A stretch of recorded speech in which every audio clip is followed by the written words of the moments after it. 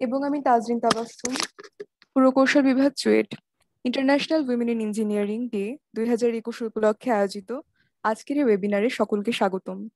আমাদের আজকের মন্তব্য ইঞ্জিনিয়ারিং হিরোজ বছর তেইশ জুন পালিত international women engineering day INWED twenty ওয়ানে উদীয়মান বিভিন্ন সমস্যা সমাধানে বিশ্বব্যাপী নারী প্রকৌশলীদের উদ্ভাবনগুলো উদযাপিত হয়। উনিশশো উনিশ সালের তেইশে জুন একদল প্রতিভাবান নারীর উদ্যোগে উইমেন্স ইঞ্জিনিয়ারিং সোসাইটি ডাব্লিউইএস গঠিত হয়। ইঞ্জিনিয়ারিং শিল্পে নারীর অবদান এবং সাফল্য সম্পর্কে সচেতনতা ছড়িয়ে দেওয়ার জন্য দুই হাজার সতেরো সাল থেকে প্রতি বছর আন্তর্জাতিকভাবে international women in engineering day পালিত হচ্ছে। এবং এই বছর আমরা চট্টগ্রাম প্রকৌশল ও প্রযুক্তি বিশ্ববিদ্যালয়ে এই দিনটি প্রথমবারের মতো উদযাপন করছি। প্রকৌশল পেশায় নারীদের অংশগ্রহণের ক্ষেত্রে সবচেয়ে বড় বাধা হলো সামাজিক চিন্তাধারা। অনেকেই মনে করেন বিজ্ঞান, প্রযুক্তি, প্রকৌশল ও গণিত নারীদের জন্য নয়। ফলে সামাজিকভাবে তাদের কখনোই পেশাগুলোতে উৎসাহ দেওয়া হয় এই জন্য একজন মেয়ে ইঞ্জিনিয়ারিং ইউনিভার্সিটিতে ভর্তি হওয়ার বিষয়টা আসলে খুব একটা সহজ নয়। চলুন এই নিয়ে নারী তুমি অনন্যা ভিডিওটি দেখে আসি।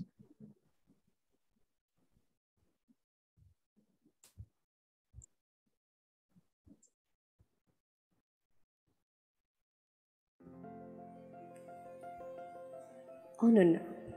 সম্ভাবনাময়ী এক দুরন্ত মেয়ে।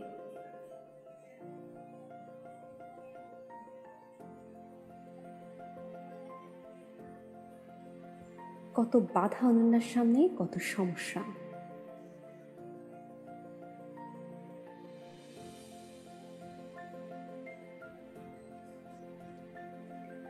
লোকের কথা শুনেও সে পড়াশোনা চালিয়ে যায়।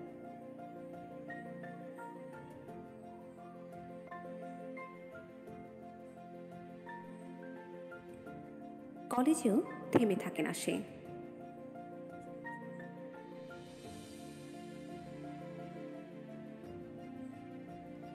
এ এক মহালড়াই দেশের সব প্রান্ত থেকে, মেধাবীদের মধ্য থেকে নিজেকে প্রমাণের চেষ্টা। কত প্রশ্ন, এত পড়াশোনা করে কি হবে? ঘরের কাজই তো করবে। মেয়েরা কি পারবে? ঘর থেকে এত দূরে মেয়ে থাকবে কীভাবে? মেয়ে মানুষ ইঞ্জিনিয়ারিং পড়ে কি হবে? প্রবল ইচ্ছা শক্তি আর নিজেকে প্রমাণের আকাঙ্ক্ষায় অনন্যারা এগিয়ে চলে।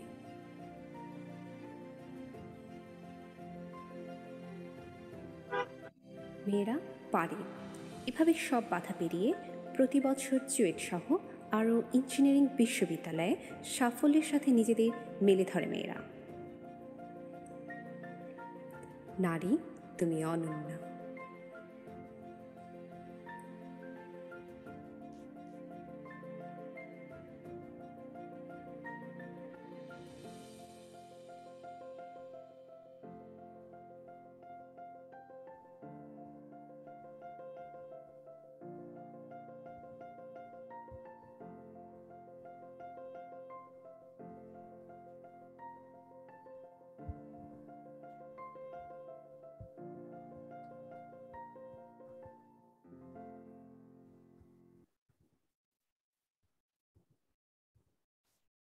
আইএনডব্লিউডি একটি আন্তর্জাতিক সচেতনতামূলক প্রচার যা ইঞ্জিনিয়ারিং এ নারীদের প্রোফাইল উত্থাপন করে এবং এই শিল্পে নারীদেরকে কর্মজীবনের সুযোগগুলিতে মনোনিবেশ করে।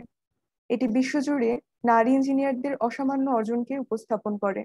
নারী ইঞ্জিনিয়ারদের জন্য বহুবিধ সুযোগের দিকে নজর রাখে আইএনডব্লিউডি ইঞ্জিনিয়ারিং কে ক্যারিয়ার হিসেবে বিবেচনা করতে এবং ইঞ্জিনিয়ারিং সেক্টরে কর্মসংস্থানে সহায়তা করার জন্য মেয়েদের উৎসাহিত করে। আমাদের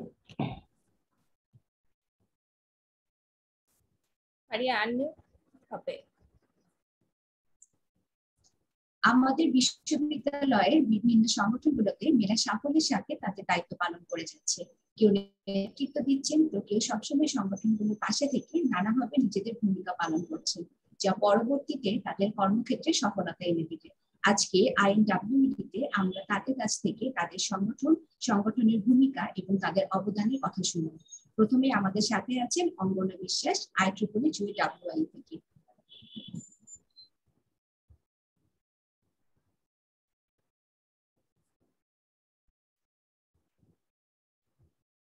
Angana? Hello everyone I'm Angana Bishash, uh, Vice Chair of uh, IEEE at WI. And uh, it's a phenomenal committee which is working for women. And uh, today it's my pleasure to represent my community and I'd like to share a video clip to represent my community. Thank you. IEEE Women in Engineering is one of the largest international organizations committed to promoting women in engineering sector. Its goal is to build a community of engineer women with diversified talents. According to that, in 2018, IEEE QAWIE was established to uphold the dignity of every engineering woman and spotlights their work to get the juniors motivated and attached. Remember, at the beginning of COVID, when our university's academic activities were closed and we were all like prisoners in our own house? From that day to today, IEEE WIE never stopped. It has brought some webinars, workshops, and discussion series to make students attached with STEM and introduce the bossy women in engineering to make a better colony of them. Not only that, it envisions building a community of talents inside and outside of campus. Now, what WIE has received from its member? Well, it has a strong alumni panel who are playing a significant role in their own job fields. They are far ahead of others in terms of research and leadership. Our committee members are participating in many national and international competitions and making the club proud by bringing awards. Engineering is not for women. Keeping this myth in mind, IEEE WIE Affinity Group provides every possible step to build engineering as a flexible and sustainable career for women and takes steps to prove they are not less than any male engineer and wants to prove this myth wrong. The sky is our starting point, not our limit.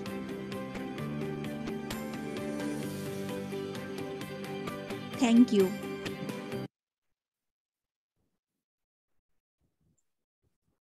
ধন্যবাদ অঙ্গনা বিশ্বাস আপুকে এরপরে রয়েছে ACI student chapter থেকে লামিয়া ইসলাম রিয়া আপু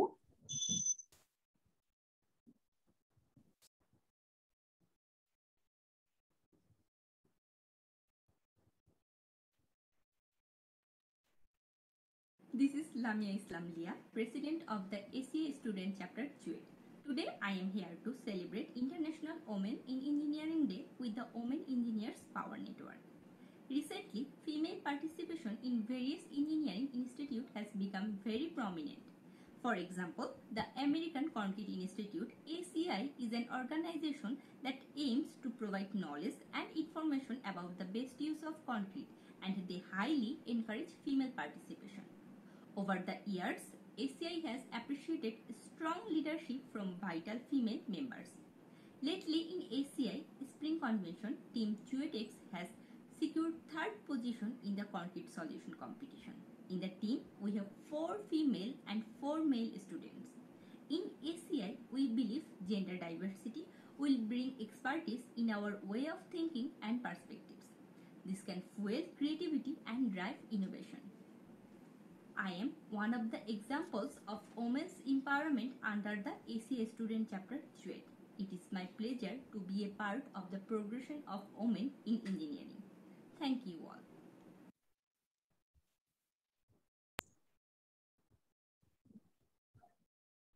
ধন্যবাদ লামিয়া ইসলাম রিয়া আপুকে এরপরে রয়েছে এএসএম থেকে নাদিয়া আক্তার আপু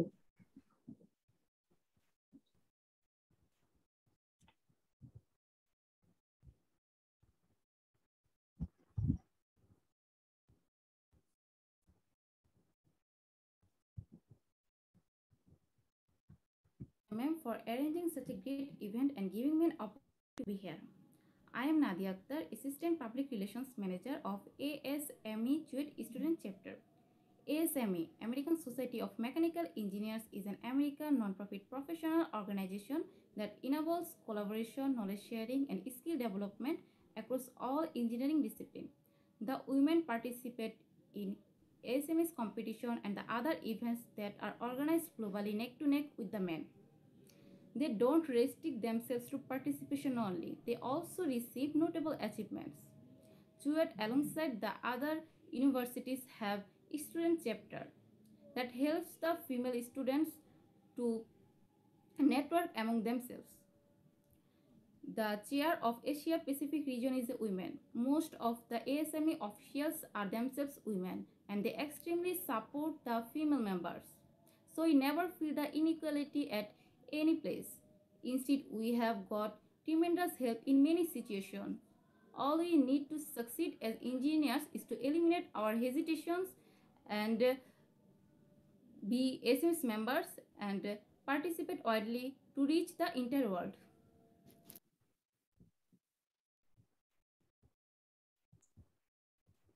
Thank you so much Nadia Akter এখন আমরা দেখে নিব সিএসএমই থেকে সুরভি একটা নুপুরাপুর ভিডিওটি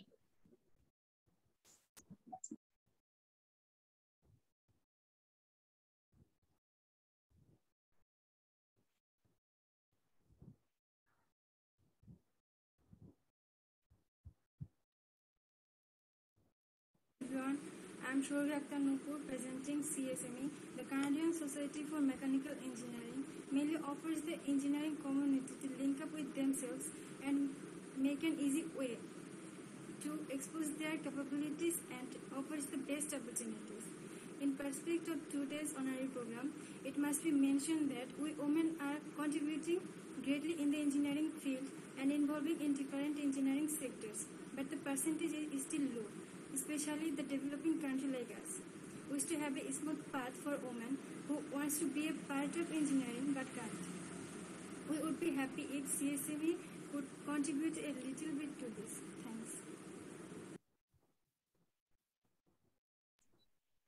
ধন্যবাদ এখন আমরা চলে যাব এএসসিই এর সাদিয়া আরিফিন ঐশ্বর্য আপুর কাছে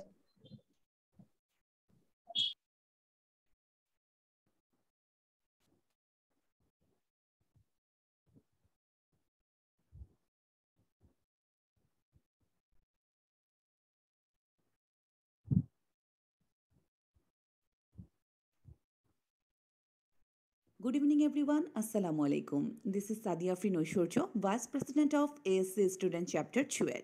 It gives me great pleasure to celebrate International Women in Engineering Day with the Women Engineers Power Network. ASCE, which stands for American Society of Civil Engineers, is the preeminent organization representing the civil engineering profession its mission is to provide essential values to its members and partners, advance civil engineering, and serve the public goods. It appreciates and encourages female participation and leadership. ASC believes discouraging women from science, technology, engineering, and mathematics careers should violate ASC Code of Ethics. At the ASC 2017 Convention of New Orleans, the ASC Board of Direction convened with three women at the head table, leading the meeting. For the first time in the society's 165 years, all three presidential officers were women. President Christina Suelo, President-elect Robin Kemper, and past President Norma Jean Mathey. Civil engineers like them, they have broken barriers. They have crashed through the mythical glass ceiling that engineering is not for women. They are our pioneers. According to that, in 2021, ASC Student Chapter Chuet established in which women plays many important leadership roles in arranging webinars, student talks, etc.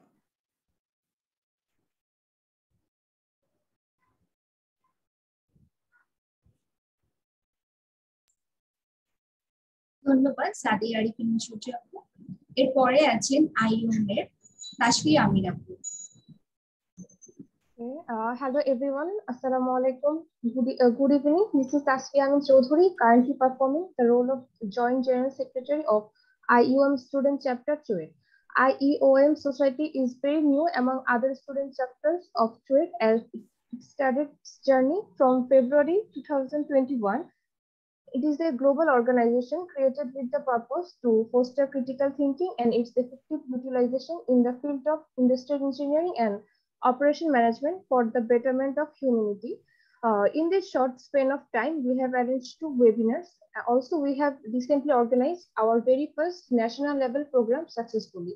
Our female officers has performed the responsibility with great enthusiasm as the whole perform was, uh, whole program was arranged virtually We hope that IOM student chapter student uh, chapter Chuet will make a remarkable place and make opportunities for the female students of Chuet with our great teamwork and leadership. Thank you. Thank you আপু সবশেষে আমরা শুনবো এসবিই এর তুলিদাসের কাছ থেকে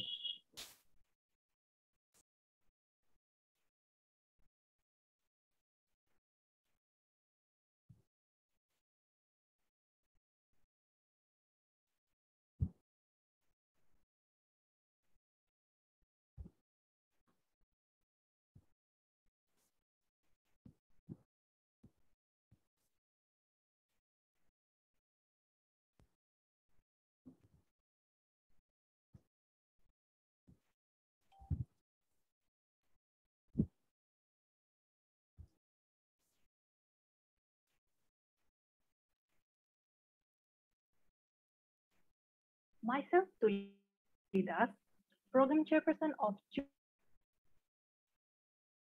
Jewett FP Student Chapter.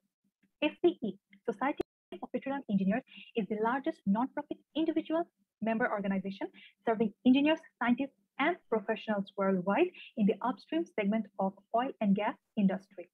In SPE, there are a tremendous number of women leaders across the enterprise starting from the board of directors down through all of the community structure and local organizations. Here, the women professionals are not only confined in comfortable jobs, but they are also involved with extreme condition jobs as drilling engineer, production engineer, and so on. The organization itself was led by a couple of women presidents in the past and will be in future too. SPE is constantly trying to increase the visibility of women in the entire organization and as well as in the oil industry too. Women have already stepped in every unconventional sector of engineering. That day is very near when women will step in more too. Today, I am representing Jewett SP student chapter to celebrate International Women in Engineers Day with Women Engineering Power Network.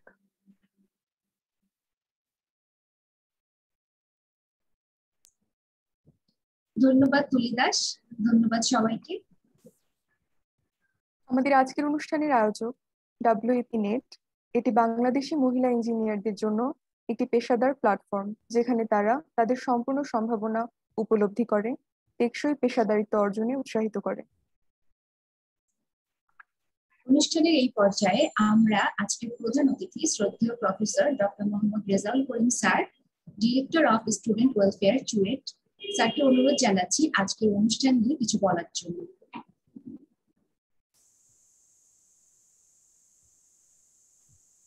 ধন্যবাদ। শুভ সন্ধ্যা। International women in engineering day to আজকে যার প্রতিপাদ্য বিষয় হলো engineering heroes আমি প্রথমেই আয়োজকদেরকে আমি ধন্যবাদ জানাই এরকম একটি সভার আয়োজন করার জন্য। বিশেষ করে বা প্রফেসর ডক্টর আয়সা আক্তার আমি মনে করি যে উনি হয়তো এটা অর্গানাইজ করেছেন, এই জন্য ওনাকে অনেক ধন্যবাদ এবং তোমরা যারা আমাদের এই স্টুডেন্ট এই কর্মকাণ্ডের সাথে সম্পৃক্ত, তাদেরকে সবাইকে আমি ধন্যবাদ জানাচ্ছি। আজকের এই আলোচনা সভায় উপস্থিত আমাদের শিক্ষার্থীবৃন্দ এবং অতিথিবৃন্দ দেশ এবং আমি যতটুকু বুঝতে পারছি দেশের বাইরে থেকেও আমাদের সাথে সংযুক্ত হয়েছেন অতিথি। সবাইকে আমি ধন্যবাদ জানাচ্ছি আমাদের এই অনুষ্ঠানে যোগদানের জন্য। নারীরা বা ওমেন যেটাই বলি, তারা বা মেয়েরা আমি বলব যা, যেহেতু আমাদের আমাদের স্টুডেন্টের কথা আমি বেশি বলব এই জন্য মেয়েরাই বলব। যে এরা কত দূর এগিয়েছে? শুধু তার একটু দু একটা উদাহরণ আমি এই বিশ্ববিদ্যালয়ে সাতাশ বছর যাবৎ আছি। এই গত সাতাশ বছরে ইঞ্জিনিয়ারিং শিক্ষায় আমাদের বিশ্ববিদ্যালয়ে মেয়েরা কোথা থেকে কোথায় এসেছে, আমাদের মেয়েরা সেই বিষয়ে আমি জাস্ট একটু দু একটি কথা বলব আমার প্র্যাকটিক্যাল এক্সপিরিয়েন্স থেকে। আমি যখন উনিশশো চুরানব্বই সালে এই তৎকালীন বিআইটিতে যোগদান করি তখন আমাদের এই বিশ্ববিদ্যালয় তখনকার সময় তৎকালীন বিআইটিতে আনুমানিক পনেরো থেকে আঠারো জন ছাত্রী ছিল। এবং যারা আমাদের স্টুডেন্ট তারা যদি আমাদের এই উত্তর গোল চত্বরের পাশে একটা তিনতলা, দুটো তিনতলা বিল্ডিং উত্তর গোল চত্বরের উত্তর পূর্ব পাশে দুটো বিল্ডিং আছে প্রথমে এই একটা বিল্ডিং এ মেয়েদের থাকার ব্যবস্থা করা হয়েছিল। তারপরে যখন মেয়ের সংখ্যা বাড়লো, তখন দুটো বিল্ডিং এ মেয়েদেরকে দিয়ে দেয়া, থাকার জন্য দিয়ে দেওয়া হলো। তো এই যে পনেরো বা আঠারো জন ফিমেল শিক্ষার্থী থেকে আজকে আমাদের এই বিশ্ববিদ্যালয়ে ছয়শোরও বেশি শিক্ষার্থী ফিমেল শিক্ষার্থী আছে। আমরা কল্পনা করতে পারি যে আমরা কোথা থেকে কোথায় এসেছি। এবং আমার বিশ্বাস, এই ধারা আর অব্যাহত থাকলে এক সময় এই বিশ্ববিদ্যালয়ের ফিমেল শিক্ষার্থীর সংখ্যা যে অর্ধেকেরও বেশি হয়ে যাবে না, এটা আমরা হলপ করে বলতে পারি না। আমাদের অনেক ডিপার্টমেন্টেই ফিমেল শিক্ষার্থীর সংখ্যা ছেলেদের চেয়েও কোনো কোনো কয়েকটি ডিপার্টমেন্টে সমান অথবা কোনো কোনো ক্ষেত্রে বেশি আমি বলব। সো মেয়েরা যে ইঞ্জিনিয়ারিং পেশায় এগিয়ে আসছে, ইঞ্জিনিয়ারিং পেশায় উৎসাহিত হচ্ছে, এটা আমি মনে করি আমাদের দেশ ও জাতির উন্নয়নের একটি প্যারামিটার। আমরা যদি দেখি দেখি যে এই যে এতগুলো যে, বা, বিভিন্ন প্রফেশনাল অর্গানাইজেশনের কথা যারা, বা, আমাদের মেয়েরা যেগুলো যারা বললেও, এই যে আমি, আমার ধারণা ছিল না যে এতগুলো অর্গানাইজেশনের সাথে আমাদের মেয়েরা সম্পৃক্ত আছে। যাই হোক, যেমন আমি কয়েকটা, এই যে এসিআই এ যে টিমটা আমাদের একটা তৃতীয় সারা বিশ্বে তৃতীয় স্থান অর্জন করল সেই টিমটাতেও আমরা বলব যে আমি অ্যাটলিস্ট দুজন ফিমেল মেম্বার আমি ইনফ্লুয়েন্সিয়াল মেম্বার আমি সেখানে দেখেছি। প্রত্যেকটা ক্ষেত্রেই আমি বিশ্বাস করি যে মেয়েদের অবদান কত বেশি। এবং এই যে প্রফেশনাল অর্গানাইজেশনগুলো ছাড়াও আমাদের যে সামাজিক, সাংস্কৃতিক যে সংগঠনগুলো আছে আমাদের চুয়েটে, সেখানেও আমাদের আমাদের মেয়েদের পার্টিসিপেশন উৎসাহ ব্যঞ্জক বিপুলভাবে উৎসাহ ব্যঞ্জক আমি যখন এই বিশ্ববিদ্যালয়ে জয়েন, যোগদান করি, তখন এই বিশ্ববিদ্যালয়ে মাত্র দুই, তিন, চারজন ফিমেল শিক্ষক ছিলেন। তোমরা মেয়েরা একটু জানো যে মাত্র চারজন ফিমেল শিক্ষক ছিলেন। আজকে তোমাদের আয়সা আক্তার ম্যাডাম, যিনি আমাদের এই বিশ্ববিদ্যালয়ের প্রথম ফিমেল প্রফেসর আয়সা ম্যাডাম সহ সহ ষাট জনেরও বেশি ফিমেল শিক্ষক আমাদের এই বিশ্ববিদ্যালয়ে আছে। তাহলে সেই দিন আর বেশি দূরে নয় যেদিন এই সংখ্যা একশো বা তারও বেশি হয়ে যাবে। তো এই যে ইঞ্জিনিয়ারিং শিক্ষা মেয়েদের জন্য নয়, এটা একটা তৎকালীন একটা আমি বলব যে মেয়েদেরকে পিছিয়ে রাখার জন্য যারা তৎপর ছিল, তাদেরই একটা প্রপাগান্ডা ছিল যে ইঞ্জিনিয়ারিং পেশা মেয়েদের জন্য নয়। ইঞ্জিনিয়ারিং পেশায় মেয়েরা কত ভালো করছে সেটা, এই যে কিছু এক্সাম্পল তোমরা দিয়েছ। এবং সব সময় অনেক অনেক এক্সাম্পল আমাদের সামনে চলে আসে। তো আমি বিশ্বাস করি ইঞ্জিনিয়ারিং পেশায় ভবিষ্যতে মেয়েরা আরও এগিয়ে যাবে। আমাদের বিশ্ববিদ্যালয়ে তাদের কর্মকাণ্ড আরও বিস্তৃত হবে। আমরা আমাদের কলিগ হিসেবে আরও অনেক সংখ্যক অধ্যাপক পাবো ফিমেল টিচারদের মধ্যে থেকে অনেক টিচার পাবো।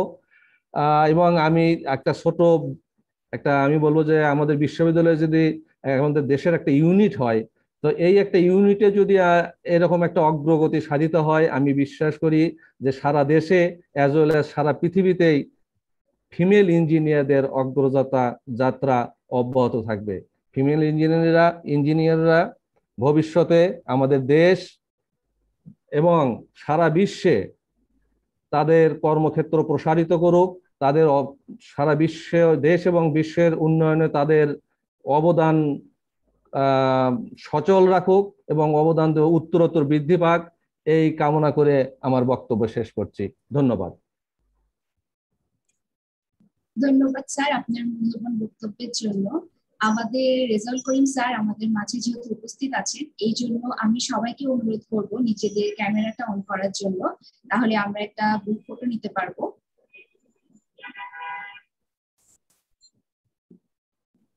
টেকনিক্যাল টিম ছবিটি নেওয়া হলে কাইন্ডলি জানাতে হবে একটু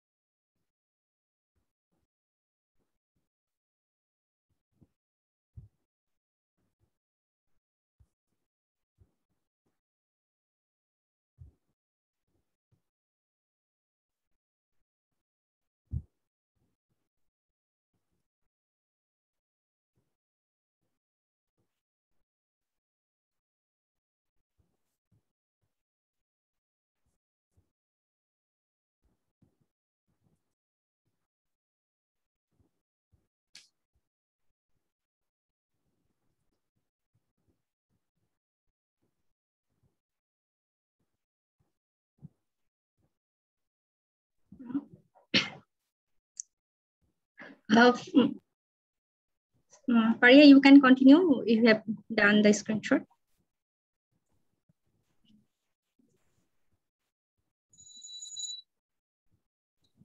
এখন আমরা সরাসরি চলে যাব আজকের ওয়েবিনারে আমাদের সাথে আছে ডাব্লিউইপি নেটের Fahima Shahadat Chowdhury country representative of Meinhardt group in Bangladesh আমি ম্যামকে অনুরোধ জানাচ্ছি ডাব্লিউইপি নেট সম্পর্কে কিছু বলার জন্য।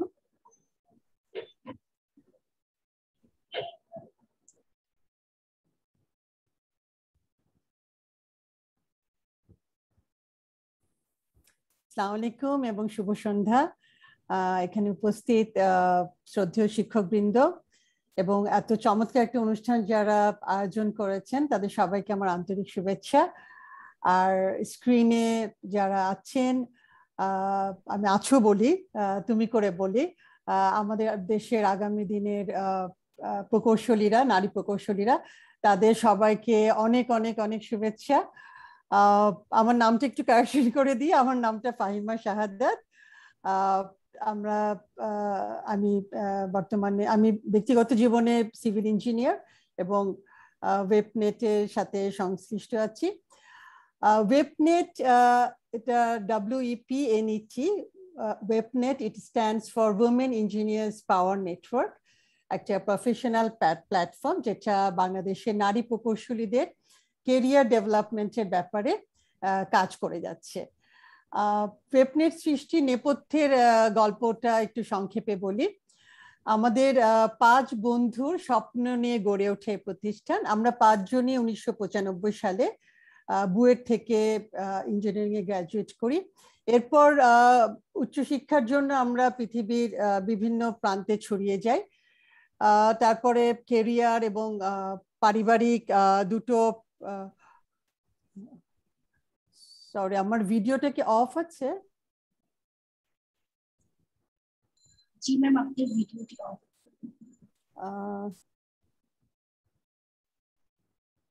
খোলা যাচ্ছে ওকে ওকে না ইটস ওকে সো যেটা বলছিলাম যে আমাদের আবার অফ হয়ে যাচ্ছে। আমি জানি না কি হচ্ছে এটা কেন অফ হচ্ছে বারবার।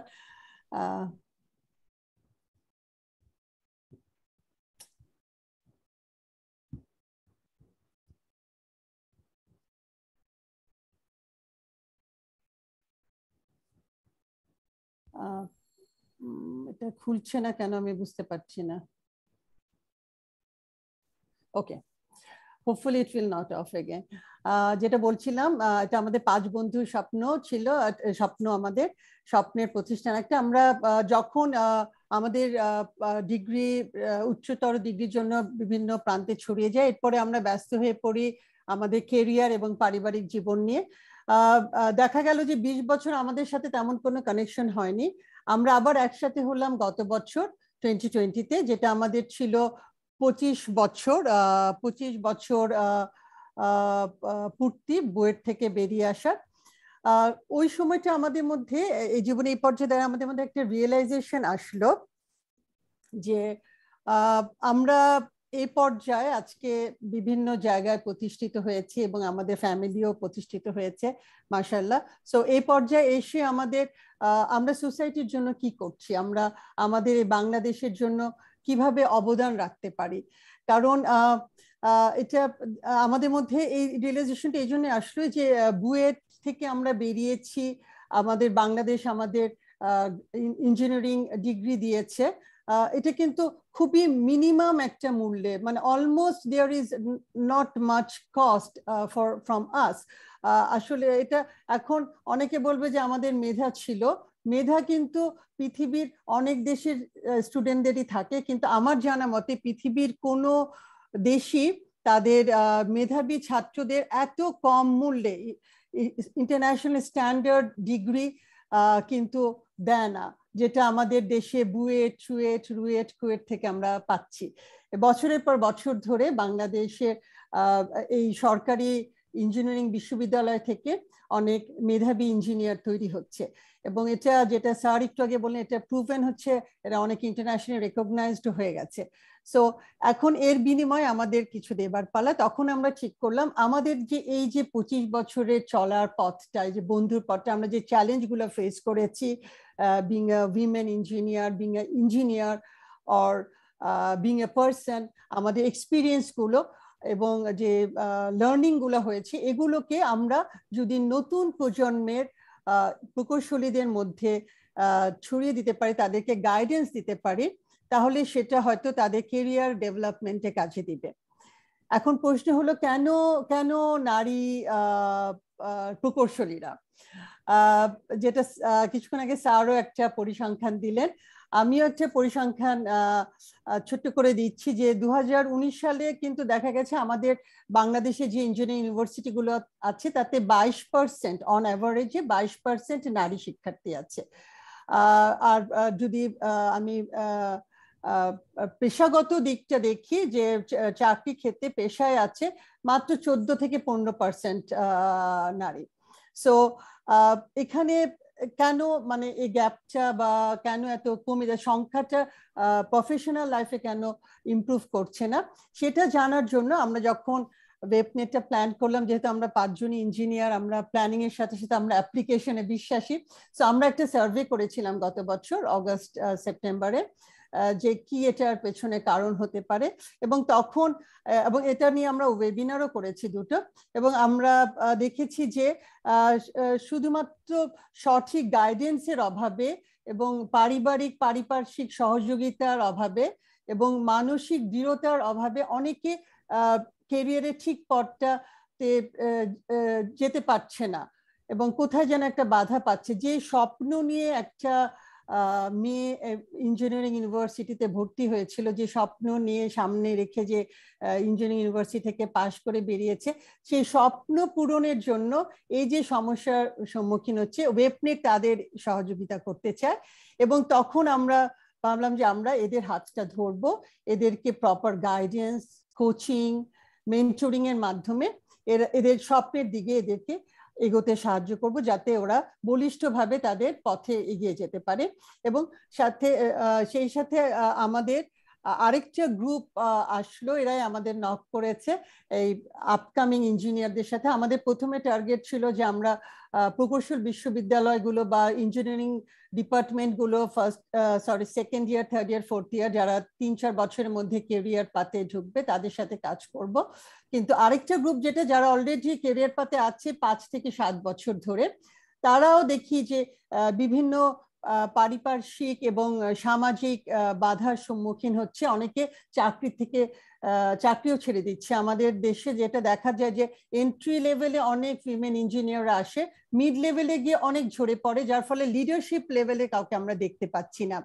সো আমাদের এটাও একটা স্বপ্ন যে, আমরা ওয়েবনেটের সাহায্যে আমাদের এই মেধাবী ফিমেল ইঞ্জিনিয়ারদেরকে লিডারশিপ রোল পর্যন্ত, ওই পর্যন্ত যাতে নিয়ে যেতে পারি। সো বর্তমানে আমরা এই দুটো সেক্টর নিয়ে দুটো সেগমেন্ট নিয়ে কাজ শুরু করেছি। তবে আপনাদের সহযোগিতায় আমরা হয়তো এটার পরিধি আরও বাড়িয়ে দেব।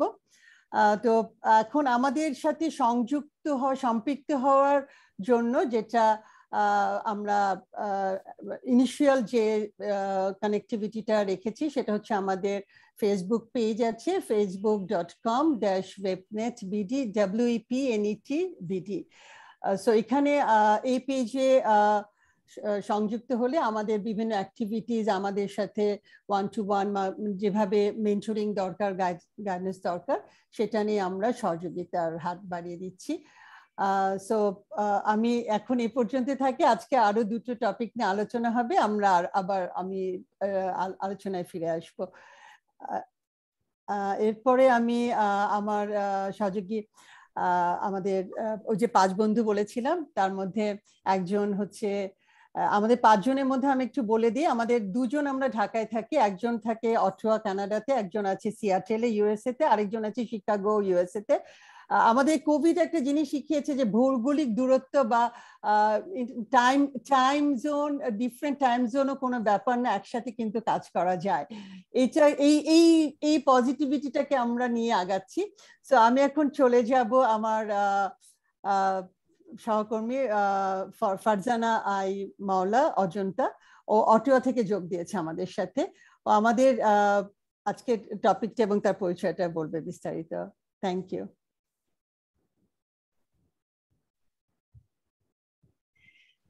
অনেক ধন্যবাদ। বলো ফারিহা কিছু বলছিলে তুমি?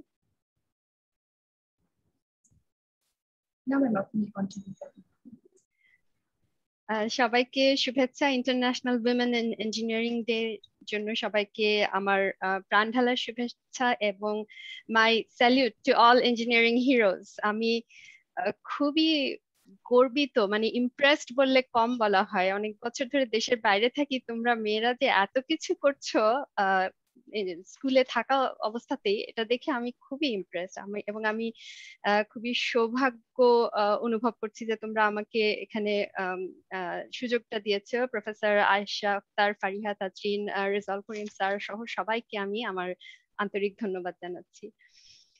আমার নিজের একটুখানি পরিচয় দিয়ে নিচ্ছি। আমি কাজ করছি একজন এন্টারপ্রাইজ আর্কিটেক্ট হিসাবে কেনেডিয়ান ফেডারেল গভর্নমেন্টের employment and social development Canada থেকে।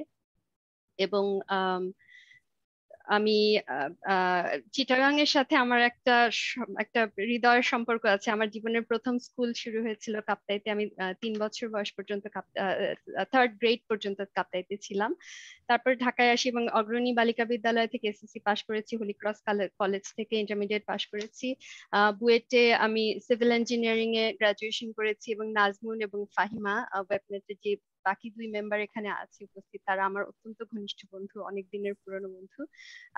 পরে কানাডা চলে আসার পর আমি কার্লটন ইউনিভার্সিটি থেকে কম্পিউটার সায়েন্সে পড়াশোনা করেছি এবং তারপর আমি প্রাইভেট বহু টেলিকম ইন্ডাস্ট্রিতে বহু বছর ধরে সফটওয়্যার ইঞ্জিনিয়ার হিসেবে কাজ করেছি এবং বর্তমানে আমি কেনেডিয়ান সরকারের সাথে কাজ করছি।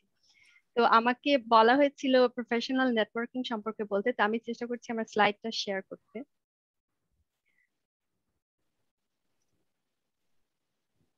দেখা যাচ্ছে কি?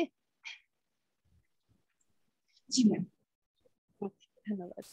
তো প্রফেশনাল নেটওয়ার্কিং আমার মনে হয় তোমরা অলরেডি যথেষ্ট জানো এটা সম্পর্কে। তো নেটওয়ার্কিং কি?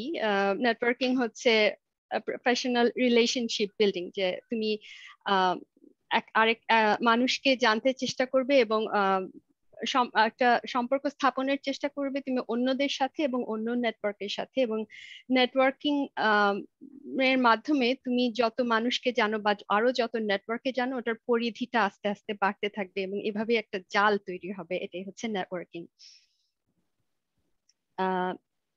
নেটওয়ার্কিং কেন করতে হবে? নেটওয়ার্কিং অত্যন্ত গুরুত্বপূর্ণ জীবনের সব স্টেজে বিগিনার স্টেজে বলো আর আমার মতো ম্যাচিওর স্টেজে বলো, সব স্টেজে খুব গুরুত্বপূর্ণ এবং কেন গুরুত্বপূর্ণ সেই পয়েন্টগুলো আমি পরে বলছি। আরেকটা ব্যাপার হচ্ছে নেটওয়ার্কিং তোমাকে রিসোর্সফুল বানাবে। কারণ তোমার নেটওয়ার্ক যত বড়, সেটার উপর কিন্তু নির্ভর করে যখন কেউ কোনো প্রফেশনাল ফেভার চাবে, তখন কিন্তু তুমি একজন গুরুত্বপূর্ণ ব্যক্তি। কারণ তোমার ওই রিসোর্সটা আছে, তোমার নেটওয়ার্ক অনেক বড়, তোমার কাছ থেকে অনেক রকমের সাহায্য পাওয়া যেতে পারে। এভাবে কি হবে? তোমার ক্যারিয়ারটাও আরও সামনের দিকে এগোতে পারবে। তো তুমি কি নেটওয়ার্কিং পছন্দ করো? যদি না করো কেন করো? আমি এই প্রশ্নটা আসলে উত্তরগুলো জানতে চাইব যে কোনো চ্যাট বক্স মাধ্যমে তোমরা আমাকে জানাতে পারো বা পরেও জানাতে পারো। আমাদের ইঞ্জিনিয়ারদের সম্পর্কে একটা অভিযোগ শোনা যায় যে আমাদের সোশ্যাল স্কিল কম। আমরা মানুষের সঙ্গে হয়তো কথাবার্তা বেশি বলতে চাই না বা নেটওয়ার্কিং এর আমরা আনকমফোর্টেবল ফিল করতে পারি শাই ফিল করতে পারি। আমরা কাউকে অ্যাপ্রোচ করতে আমাদের হেসিটেশন হয় বা আমরা মনে করি যে নেটওয়ার্কিং তো অনেক করলাম, এটা তো কোনো কাজে লাগে না, আমরা স্কেপটিক্যাল এগুলো হতে পারে আর কি। তবে আমি অবশ্যই বলব নেটওয়ার্কিং আমাদের করতে হবে। প্রফেশনাল নেটওয়ার্কিং আমাদের আমাদের অবশ্যই কাজে আসে। এটা ব্যাপারে কোনো দ্বিধার অবকাশ নেই। আমাদের কিছু যদি আমার আমার আমার ব্যক্তিগত নেচার থাকে যে আমি সাই আমি নিজে কিন্তু অত্যন্ত সাই ছিলাম তোমাদের বয়সে। তো আমি বলছি না কাউকে তার নেচার অতিক্রম মানে অতিক্রম করতে হবে বা কাউকে ভেঙে গড়তে হবে এটার জন্য, তার কিন্তু প্রয়োজন নেই। তুমি তোমার নিজস্ব নেচার দেখি তুমি কাউকে, কারোর সঙ্গে একটা সম্পর্ক তৈরি করতে পারো, একটা আগ্রহ নিয়ে যদি তৈরি করো বা একটা নেটওয়ার্কে জানতে চেষ্টা করো তাতে আসলে আদতে তোমারই উপকার হবে। তো কি কি কারণে তোমার নেটওয়ার্ক করতে ইচ্ছা হয় না, সেটা আমার জানার ইচ্ছা থাকলে যে কোনো অবকাশে তোমরা আমাকে জানাতে পারো। Networking is a two way street শুধু আমি নেব, আমি দেব না, এটা করলে এটা কোনো নেটওয়ার্ক আদৌ সাস্টেইনেবল হবে না। সোজা কথা হচ্ছে এটা আর কি। তুমি মানুষকে ফেভার দেবে, তারা তোমাকে ফেভার দেবে এইভাবেই নেটওয়ার্কটা তৈরি হয় এবং এটা সবসময় আমাদেরকে মাথায় রাখতে হবে। নেটওয়ার্ক তোমার নেটওয়ার্ক তুমি কোথায় বিল্ড করবে? নেটওয়ার্কিং ইভেন্টস এটার সবচেয়ে বড় উদাহরণ আজকে এটা একটা one of this networking events that we মানে আমরা আশা করছি যে এই ইভেন্টটার পরে আমাদের নিজেদের মধ্যে আরও সুন্দর একটা যোগাযোগের ক্ষেত্র তৈরি হবে। ফাহিমা বলেছেন কি করে আমাদের ওয়েবনেট তৈরি হয়েছে। ওটা কিন্তু একটা এক্সাম্পল যে ইউনিভার্সিটি অ্যালামনি থেকে কি করে একটা নেটওয়ার্ক তৈরি হতে পারে। তারপরে অ্যাক্টিভিটি গ্রুপস যে আমরা থাকি কেউ হয়তো কোনো স্পোর্টস গ্রুপে আছি, কেউ কোনো প্রেয়ার গ্রুপে আছি, কেউ কোনো গানের ব্যান্ডে আছি। You never know where you can find your network তো ওই সব গ্রুপেও তুমি এমন কাউকে খুঁজে পেতে পারো যার সাথে তুমি তোমার প্রফেশনাল ইনক্লিনেশনটা মিলে যাচ্ছে, তো ওখানেও খুঁজে পেতে পারো। Conferences seminars self explanatory it's very obvious your current or previous jobs, again বুঝতেই পারছ এটা কি। সোশ্যাল ইভেন্টস তুমি হয়তো একটা বিয়ে বাড়িতে গিয়েও এমন কাউকে খুঁজে পেতে পারো যে যার সাথে তোমার একটা যোগাযোগের ক্ষেত্র তৈরি হতে পারে। সোশ্যাল মিডিয়া ভেরি ইম্পর্টেন্ট আমি নিজে সোশ্যাল মিডিয়া কাজের ব্যাপারে আমি খুবই আমার খুবই কাজে এসেছে। যেটার মধ্যে একটার কথা আমি অবশ্যই খুব জোর দিয়ে বলব, সেটা হচ্ছে লিঙ্কটিন লিঙ্কটিন আমার খুবই কাজে আসে। এবং আমি জানি যে বাংলাদেশের লিঙ্কটিনটা আস্তে আস্তে ওটার মানে ব্যবহার বাড়ছে আর কি। এবং আমি বলব যে অনেক আগে থেকেই তোমরা লিঙ্কটিনে যুক্ত হয়ে গেলে তোমাদের নেটওয়ার্কটা আগে থেকেই বাড়তে থাকবে। যেমন আমি বলব যে ইন্টারমিডিয়েট লেভেল থেকেই যদি তোমরা লিঙ্কডিনে প্রথমে অ্যাকাউন্ট খুলো, আমি জানি যে ওই পর্যায়ে তখনও তোমাদের তেমন কিছু লেখা নেই নিজেদের সম্পর্কে। যতটুকুই আছে ওইটুকু লেখো। বিভিন্ন রকম ফোরাম বা গ্রুপস আছে প্রফেশনাল গ্রুপস আছে, ওগুলোর সাথে সংযুক্ত হও। তাতে করে হবে কি, নিজের ক্যারিয়ার অ্যাসপিরেশন ইন্টারেস্টগুলো চারপাশে কি হচ্ছে ওগুলো সম্পর্কে জানতে পারবে এবং আস্তে আস্তে তোমার নেটওয়ার্কটা ওই সময় থেকে বিল্ড হতে শুরু করবে। এবং ওইটা লিঙ্কটিনের লিঙ্কটিন এমনি একটা উদাহরণ হিসেবে বললাম, এই ধরনের আরও ইয়ে আছে, কিন্তু ওগুলো থেকে হবে যে তোমার নেটওয়ার্কটা তৈরি হয়ে যাবে ওখান থেকে এবং অনেক রকমের টুলস আছে, ওগুলোর ওগুলোর সৎ ব্যবহার করতে শিখতে হবে।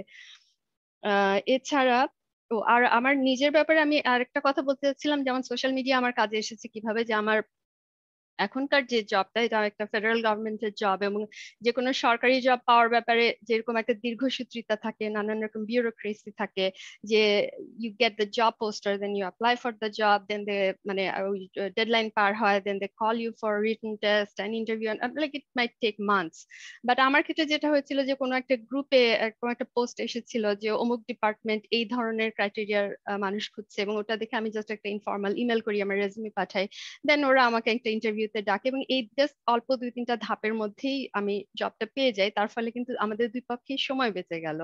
তো সোশ্যাল মিডিয়া খুব পাওয়ারফুল টুল যদি তুমি প্রপারলি এটাকে ইউজ করতে শিখতে পারো। আর আরও আরও অন্য ক্ষেত্র হতে পারে যেখানে তুমি তোমার নেটওয়ার্ক খুঁজে পেতে পারো। যেমন আমার এক বন্ধু, সে তার সন্তান হওয়ার পর অনেকদিন পর্যন্ত সে আনএমপ্লয়েড ছিল। তারপরে কিন্তু যখন সে তার বাচ্চার স্কুলে যাতায়াত শুরু করল, তখন স্কুলের আরেক বাচ্চার প্যারেন্টের সঙ্গে কথায় কথায় যখন তার স্কিল তার ইন্টারেস্ট তার অ্যাসপিরেশন সম্পর্কে সে জানতে পারল, তার যোগাযোগে সে একটা খুব ভালো জব পেয়ে গেল এবং সেখান থেকে সে এখন আজ পর্যন্ত সেই জবটা সে করছে। সুতরাং you never know where you can find your network তোমার প্রফেশনাল নেটওয়ার্কে কারা থাকবে? অবশ্যই তোমার প্রফেসর থাকবেন, তোমার ক্লাসমেটস এবং কারেন্ট প্রিভিয়াস কাউকে বাদ দেবে না। যাদের কি তোমার মনে হবে যে তোমার সাথে তোমার ক্যারিয়ার অ্যাসপিরেশনের ব্যাপারে তাদের সাথে মিল আছে, তুমি তাদেরকে রাখবে। তোমার ফ্রেন্ডস অফকোর্স তোমার ফ্রেন্ড তোমার অনেক বড় শক্তি। তোমার কো ওয়ার্কার্স অফকোর্স এবং যে সমস্ত প্রফেশনাল বা যে ধরনের ক্লাব বা অ্যাসোসিয়েশনের সঙ্গে তুমি যুক্ত, তাদের সব মেম্বাররা থাকবে। তোমার ফ্যামিলিতেও তোমার ফ্যামিলি মেম্বারদেরকে নেগলেক্ট করার কোনো কারণ নেই। তারাও তোমার তোমার জন্য একটা বড় ভূমিকা রাখতে পারেন। তো আমি আগে প্রথমে বলেছিলাম যে নেটওয়ার্কিং খুব ইম্পর্টেন্ট কেন? কারণ নেটওয়ার্কিং তোমার, তোমাকে কি দিতে পারে? টু ফাইন্ড আ জব আমি তোমাদেরকে আগেই বলেছি আমার নিজের জবের ক্ষেত্রে। আসলে যেটা হয় যে নেটওয়ার্কিং এর মাধ্যমে তুমি হয়তো এমন কারণ আজকাল হয় কি একটা জবের জন্য সারা দুনিয়া থেকে মানুষ অ্যাপ্লাই করতে পারে, যেহেতু ইন্টারনেটের মাধ্যমে করা যায়। এত এত অ্যাপ্লিকেশন ওটার মধ্যে তোমার অ্যাপ্লিকেশন হারিয়ে যাচ্ছে কিনা তুমি জানো না। তো নেটওয়ার্কিং এর মাধ্যমে তুমি হয়তো এমন একটা জবের খবর পেতে পারো, যেটা হয়তো এখনও পাবলিকই হয়নি ইউ নেভার নো আর আরেকটা হতে পারে যে কেউ যদি তোমার একজন থাকেন যিনি তোমার রেজিউমেটা সরাসরি নিয়ে এইচআর এ দিয়ে দিচ্ছেন, সেক্ষেত্রে তোমার রেজিউমেটার গুরুত্ব বাড়ছে। কেন? কারণ ওই ব্যক্তি তোমার রেজিউমে এইচআর এ দেবেন তখনই যখন তিনি জানবেন যে you're a good professional they like you you're a likeable person so ওই ক্ষেত্রেও কিন্তু তোমার দামটা বেড়ে যাচ্ছে। তো এই ক্ষেত্রে নেটওয়ার্কিং তোমাকে হেল্প করতে পারে। তারপরে রেকমেন্ডেশন অ্যান্ড রেফারেন্সেস আমি খুবই ব্যবহার করেছি এবং এটা তো সবাই জানা কথা যে নেটওয়ার্কিং এর মাধ্যমে এটা পাওয়া যায়।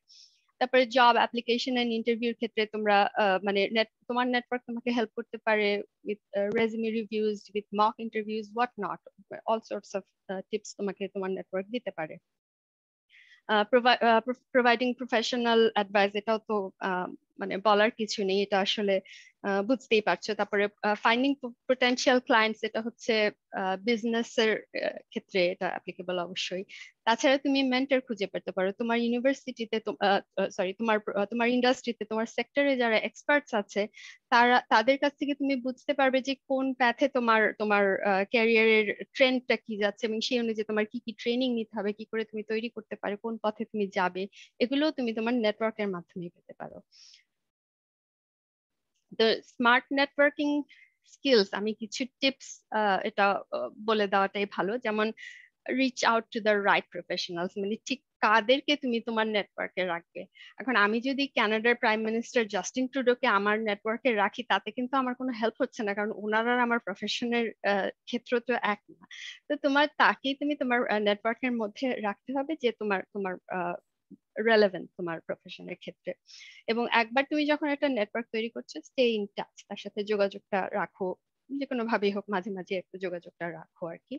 এবং আমি আগেও বলেছি যে it's a two way street সুতরাং হেল্প ইউর কন্ট্যাক্ট তুমি হেল্পটা নিয়ে কেটে পড়লে আর তার কোনো খবর তার যখন হেল্প দরকার হচ্ছে be available for that network for that person and যখন তুমি কোনো একটা সাহায্য পাচ্ছ তোমার নেটওয়ার্কের কাছ থেকে এক্সপ্রেস ইউর অ্যাপ্রিসিয়েশন তাকে জানাও তুমি কতটা থ্যাঙ্কফুল সেটা যদি তুমি যথার্থভাবে জানাও, তাহলে হবে কি যে ওই সম্পর্কটা আরও সুন্দরভাবে হবে এবং তার ফলে তোমরা আরও ভবিষ্যতে একসাথে কাজ করতে পারবে। Focus on the relationship not the regime এখানে আমি একটা গল্প বলছি, এটা আমার ছেলের গল্প। আমার ছেলে একদিন খুব বিরক্ত হয়ে আমাকে এসে বলছে যে তাকে তার একটা ক্লাসমেট তাকে মেসেজ করে বলছে can can you help me with this assignment তো this is an example of bad networking practice because তোমাকে আগে তো তোমাকে সম্পর্কটা মানে আগে একটা সেরকম একটা মেবি একটা হাই হ্যালোর সম্পর্ক থাকতে হবে এবং যখন তুমি কাউকে অ্যাপ্রোচ করছ, তোমার বলার ভঙ্গিটা ওরকম হতে হবে যে, আমি এরকম একটা সমস্যায় পড়েছি, আমার একটা হেল্প দরকার। If you have time can you help me এগুলো বলতে হবে। তা না হলে ওই ওই ওটার উপর একটা সময় দিতে হবে, সোজা কথা হচ্ছে এটা। গো ফেস টু ফেস এটা হয়তো এখনকার পরিপ্রেক্ষিতে একটু একটু কঠিন, কিন্তু যখন সম্ভব হয় যদি ওই ওই সিচুয়েশনটা থাকে, তাহলে ফেস টু ফেস কমিউনিকেশনের একটা সুবিধা আছে ওভার স্ক্রিন মিটিং আর ওভার টেলিফোন টক্স আর অ্যান্ড এগেন অফার হেল্প যখনই কারণ হেল্প অফার করলে যেটা হয় যে, একে তো ধরো কাউকে সাপোর্ট করতে পারাটাই একটা সৌভাগ্য। তাছাড়া তুমি যখন হেল্প অফার করছ, তখন you get to display your skills and that person that way তুমি তোমার ট্যালেন্টটা কি, তোমার কি কি তোমার বৈশিষ্ট্য সেটা কিন্তু তারা জানতে পারছে। সুতরাং don't ever hesitate to offer help if you can fight your fear এটার কথা আমি আগেও বলেছি যে রুমির একটা কথা আছে the cave you are afraid to enter, may have the light you are seeking. So, তুমি যে গুহাটায় ঢুকতে ভয় পাচ্ছ, হয়তো সেই গুহাতে সেই লাইটটা আছে যেটা তোমার তোমার জীবনের পথটা চেঞ্জ করে দিবে। সুতরাং যদি তোমার কাউকে মিট করতে অ্যাংজাইটি থাকে, তুমি সেটার প্রিপারেশন নাও বা একটু একটু করে একটু একটু করে ভয় ভেঙে যদি এগিয়ে যাও তারপরে আমাদের যেমন রিজেকশনের ভয়টা থাকে রিজেকশনটাকে পার্সোনালি নেওয়ার কিছু নেই। কে কাকে, কেউ যদি কাউকে রিজেক্ট করে, সেটা তার নিজস্ব কিছু রিজন থাকে। It's not about you it's about that person so একটা রিজেকশন হলে ভয়ের কিছু নেই, অন্য, অন্যভাবে এগিয়ে যাও নেটওয়ার্কিং করার জন্য। Be patient and make time এটা আমি আগেও বলেছি যে একটা নেটওয়ার্কিং রিলেশনশিপের উপর আমাদেরকে ইনভেস্ট করতে হবে টাইম অ্যান্ড এনার্জি তারপরে সোশ্যাল নেটওয়ার্কের কথা আমি আগেও বললাম যেটা খুব ইম্পর্টেন্ট তবে সোশ্যাল নেটওয়ার্কের উপর আরেকটা কথা আমি যোগ দিতে চাই, সেটা হচ্ছে, what you are posting on social media is uh, creating a your own brand. You're creating your own brand by by the contents of your social media so uh, social media posts. So ওই জিনিসটা একটু খেয়াল রাখতে হবে। এবং আরেকটা জিনিস আমি যেটা অফ দ্য ট্র্যাক একটু অ্যাডভাইস করতে চাই যে মাঝে মাঝে নিজের নামে নিজেকে একটু গুগল করে দেখবে যে কি কন্টেন্ট তোমার ইন্টারনেটে আছে। কারণ এমপ্লয়াররা কিন্তু গুগল করে দেখেন। মানে যখন কাউকে কোনো ক্যান্ডিডেটকে ইন্টারভিউ করতে চান। আমি নিজে এটা বহুবার করেছি। তো এটা এটা একটু মনে রাখতে হবে। তারপরে ফলো আপ যখন একটা নেটওয়ার্কের সাথে যোগাযোগ হলো, তুমি হয়তো তোমার রেজমে সাবমিট করলে করে ছয় মাস বসে থেকো না।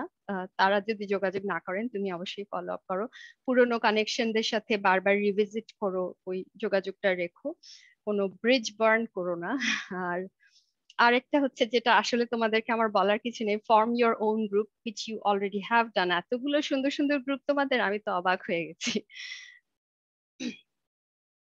ডিউরিং দ্য লকডাউন এটাও একটা প্রশ্ন তোমাদের কাছে। আমার তোমাদের কি মনে হয় লকডাউনের সময় নেটওয়ার্কিং ইজি হয়েছে না কঠিন কঠিন হয়েছে? তা আমার নিজের মতামত জানিয়ে দিচ্ছি। আমার মনে হয় there are pros and cons একটা, যেমন আমি নিজে একটা নতুন জবে জয়েন করেছি লকডাউন থাকা অবস্থায়, তাতে আমার কাছে একটু একটু কঠিন লেগেছে যে আমি ঠিক মানে বিগ পিকচারটা আমি দেখতে পাচ্ছি না যে কারা কে কোন মানে স্টেক হোল্ডাররা কে কে, আমার পার্টনার কে কি, ওই জিনিসটা একটু ক্রিয়েটিভ হয়ে এটা একটু বুঝে বের করতে হয়। আবার থ্যাংকস টু টেকনোলজি যেমন এই জুম মিটিং এই ধরো তোমরা মানে একটা রিয়েল এটা যদি একটা রিয়েল মিটিং হতো, তোমরা আমার নামটা হয়তো নাও মনে রাখতে পারতে, কিন্তু এখন তোমরা আমার নামের লেভেলটা দেখতে পাচ্ছ, সুতরাং টেকনোলজির কিছু হেল্প আছে। এবং টেকনোলজির কারণে আজকের ওয়েবিনারে আমি যোগ দিতে পারলাম, না হলে কিন্তু আমি পারতাম না। So lockdown there are pros and cons আর সবশেষে আমি যেটা বলব সেটা হচ্ছে যে প্রফেশনাল নেটওয়ার্কিং করতে গিয়ে আমরা যেন এতটা ক্যারিড অ্যাওয়ে না হয়ে যাই যে আমরা শুধুই ভালো ভালো রিচ অ্যান্ড পাওয়ারফুল পিপলকে আমার আমার আমার সার্কেলের মধ্যে রাখছি।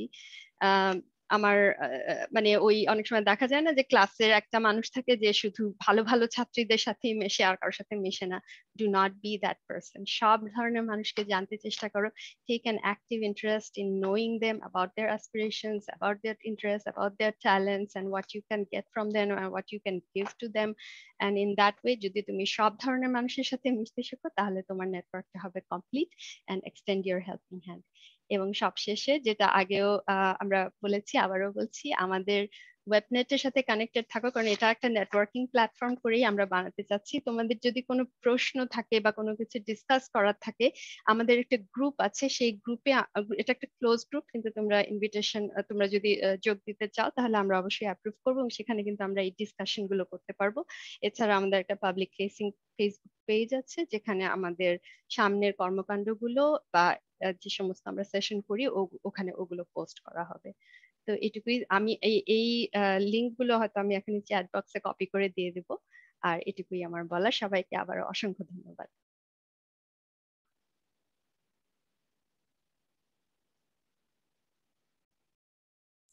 ধন্যবাদ ম্যাম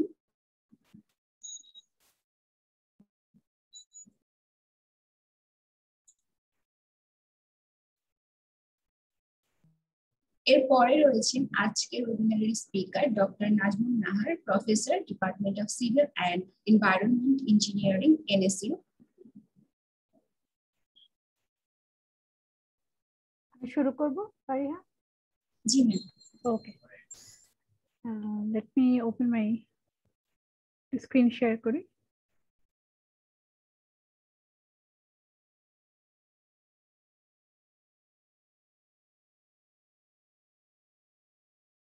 স্ক্রিন দেখা যাচ্ছে? ওকে ওকে শুরু করার আগে প্রথমে সবাইকে শুভ সন্ধ্যা এবং আসসালামু আলাইকুম। Thank you very much for inviting webinar in this awesome amazing program I am really glad to be here এবং আমার সব বাকি দুইজন সহকর্মীর মতো আমারও অনেক কিছু জানা ছিল না। তো আমি চুয়েট কর্তৃপক্ষকে ধন্যবাদ জানাই, ডক্টর আয়সা আক্তারকে ধন্যবাদ জানাচ্ছি। সেই সাথে যেই সব ছাত্রীরা যারা এই তোমরা আমাদেরকে ইনভাইট করেছ, তোমাদের সবাইকে সবাইকে অভিনন্দন এবং অনেক অনেক ভালোবাসা। এখানে আমাদের স্যাররাও আছেন, রেজাল করিম স্যার আছেন, আর যারা আছেন শিক্ষক, শ্রদ্ধ শিক্ষকরা, সবাইকে আমার শ্রদ্ধা জানাচ্ছি এবং আমাদের অনুষ্ঠান আমার আমার পার্টটুকু শুরু করছি। তো আমার মনে হয় একটা জিনিস তো আমাকে যেটা বলা হয়েছে বলার জন্য সেটা হলো যে ওয়ার্ক এনভায়রনমেন্ট এবং ইন দ্য ইঞ্জিনিয়ারিং সেক্টর এই বিষয় নিয়ে কিছু বলার জন্য। তো আমি সেটি প্রসঙ্গে যাওয়ার আগে একটু নিজের বিষয়ে কিছু একটা বলা। সেটা হলো যে আমি প্রফেসর ডক্টর নাজমুন নাহার, এখন নর্থ সাউথ ইউনিভার্সিটিতে civil civil and environmental engineering ডিপার্টমেন্টে আছি দু হাজার তেরো থেকে। এবং আমি এর পাশাপাশি আমার আরেকটা প্রশাসনিক মানে দায়িত্ব আছে, সেটা হলো যে আমি নর্থ সাউথ ইউনিভার্সিটির institutional quality assurance cell IQAC সেটা ডিরেক্টর হিসেবে আছি দুহাজার ষোলো থেকে। আমি ব্যক্তি জীবনে আমার দুই সন্তান, মারিহা এবং আহমেদ, আমার স্বামী তিনিও বিশ্ববিদ্যালয়ের শিক্ষক। চুয়েটের সাথে আমার একটা ব্যক্তিগত একটা কানেকশন আছে। সেটা হলো যে আমার হাজব্যান্ড হচ্ছেন চুয়েটের alumni so he graduated from electrical engineering CUET এবং তার এখনও মাঝে মধ্যেই তাদের চুয়েটের ওই ব্যাচের ক্লাব মানে গ্রুপ আছে তো কানেক্টিভিটিটা আছে সো দ্যাটস ওয়াই আমার ভালো লাগছে আজকে এখানে আসতে পেরে। আমার পড়াশোনার ব্যাকগ্রাউন্ডটা হচ্ছে যে আমি আমার স্কুল বিকর্নাসের স্কুল আমার কলেজ হচ্ছে হোলি ক্রস কলেজ আমার ইউনিভার্সিটিতে বুয়েট এবং বুয়েট থেকে পাশ করার পরে আমি সিভিল ইঞ্জিনিয়ারিং থেকে পাশ করেছি। পাশ করার পরে আমি আমেরিকাতে যাই, সেখানে পার্ডু ইউনিভার্সিটিতে পার্ডু ইউনিভার্সিটি ইন্ডিয়ানা। সেখান থেকে মাস্টার্স এবং পিএইচডি করি ওয়াটার রিসোর্সেস ইঞ্জিনিয়ারিং এ তারপরে আমি অ্যাকচুয়ালি বেশ অনেক দিন চাকরি করেছি কানাডাতে আমি অ্যাজ এ প্রফেশনাল ইঞ্জিনিয়ার কাজ করেছি প্রফেশনাল ফিল্ডে তারপরে আস্তে আস্তে আমি প্র্যাকটিসিং ইঞ্জিনিয়ার থেকে আমি টিচিংয়ে আসি। তারপর কানাডাতে কিছুদিন পড়াই, তারপরে I decided to come back so বাংলাদেশে দু হাজার বারো থেকে আসলাম, তারপর থেকে এখানে পড়াচ্ছি। আমার ইন্টারেস্ট আমার এই ওয়েবনেট এটা যেমন আমার একটা প্যাশন কাজেই কিছু একটা করা কারোর জন্য আমার অন্য দুই সহকর্মী বলল। সেই সাথে আমি বিভিন্ন রকমের social work specially involving women children এবং marginalised section of the society যেমন রাইট নাও আমি ফিজিক্যালি যারা চ্যালেঞ্জড যে স্টুডেন্টরা আছে ইউনিভার্সিটি স্টুডেন্ট তাদেরকে নিয়ে কাজ করছি। গার্ডেনিং একটা শখ পড়াশোনা মানে বই পড়া, সেটাও একটা শখ। দ্যাটস অ্যাবাউট মাই সেলফ তো আমার মনে হয় আমি ওয়ার্ক এনভায়রনমেন্ট নিয়ে বলতে গেলে আমাকে একটু, আমি যেটা, আমার মনে একটু আগে চলে গেছে। Let me just change it change করে আমি এটাতে ইজিয়ার হয়। So what kind of um, engineering work we are talking about? সেটা বোধহয় একটা you all know about it তারপরেও আমার মনে একটু বলা। সেটা হচ্ছে যে ইঞ্জিনিয়ারিং ওয়ার্কের ক্ষেত্রে government sector non government sector দুই ক্ষেত্রেই জবের অপরচুনিটি আছে। আর যে ধরনের কাজ সাধারণত ইরেসপেক্টিভ অফ ইউর ডিসিপ্লিন মানে আমি বলছি যে কোনো পার্টিকুলার ডিসিপ্লিন না সিভিল ইঞ্জিনিয়ারিং বা মেকানিক্যাল বা কম্পিউটার ইঞ্জিনিয়ারিং সেগুলো ভাগ করছি না। জেনারেলি যে ধরনের কাজগুলো আমাদের সামনে থাকে, আমরা বলি যে ইঞ্জিনিয়ারিং ডিজাইন মডেলিং অনেক ক্ষেত্রে রিপোর্ট রাইটিংও একটা বড় মেজর পার্ট আমাদের বড় ক্ষেত্রে।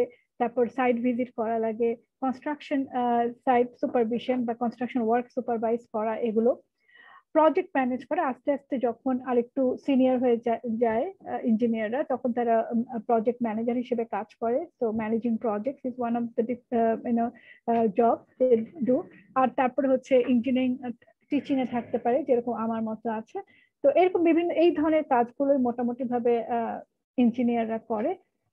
এবং ওয়ার্ক এনভায়রনমেন্টের কথা যখন আসছে, তখন ওয়ার্ক এনভায়রনমেন্টের কম্পোনেন্টগুলো কি? মানে কোন কোন জিনিসগুলো ডিফাইন করে একটা ওয়ার্ক এনভায়রনমেন্টকে এবং একটা হলো ফিজিক্যাল ফেসিলিটিস যে একটা ওয়ার্ক মানে প্লেসে সেই এনভায়রনমেন্টটাকে আমি ভালো বলব কীভাবে? তার একটা কম্পোনেন্ট হলো ফিজিক্যাল ফেসিলিটিস মানে যে ওখানে কি আমাকে ভালো বসার জায়গা দিচ্ছে কিনা? আমার যেই আমার এই যে জিনিসগুলো নিয়ে আমাকে কাজ করতে হবে কম্পিউটার বলি, যা বলি, আমার নেসেসারি সব রিসোর্সেস আছে কিনা, আমার অ্যাজ এ ফিমেল ইঞ্জিনিয়ার আমি সব রকমের সুবিধা পাচ্ছি কিনা, আমার ভালো ওয়াশরুম আছে কিনা এই বিভিন্ন রকমের জিনিস ফেসিলিটি গুলো কি কি, সেই সেই জিনিসটা আমার কাজটাকে ফ্যাসিলিটেট করে।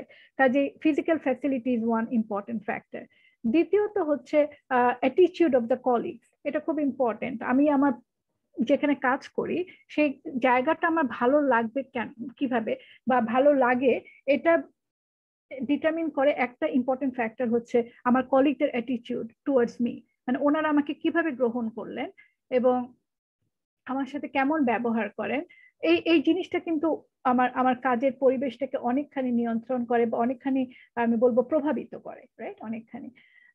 কাজে অ্যাটিচিউড of my colleagues or my surrounding তারপর আরেকটা হলো মাই অ্যাটিচিউড টুয়ার্ডস আদার্স আমার ওয়ার্ক এনভায়রনমেন্টটা এটা আমার বন্ধু ফারজানা বোধে বলছিল যে নেটওয়ার্কিংটা যেমন টু ওয়ে প্রসেস তেমনি ভাবে একটা ওয়ার্ক এনভায়রনমেন্ট ভালো হবে, সুন্দর হবে, এটাতে কিন্তু আমারও কন্ট্রিবিউশন আছে। ইটস নট যে it's not all about others who are around me আমি কীভাবে পরিবেশটাকে দেখছি, আমি কেমন বিহেভ তাদেরকে করছি, আমি তাদেরকে কি মানে অ্যাটিচিউড দেখাচ্ছি, সেটাও কিন্তু একটা ফ্যাক্টর কাজে আমার অ্যাটিচিউডটা কেমন? আমি কি খুব গম্ভীরে বসে থাকি কিনা? অথবা আমি কি হঠাৎ করে রেগে যাচ্ছি কিনা?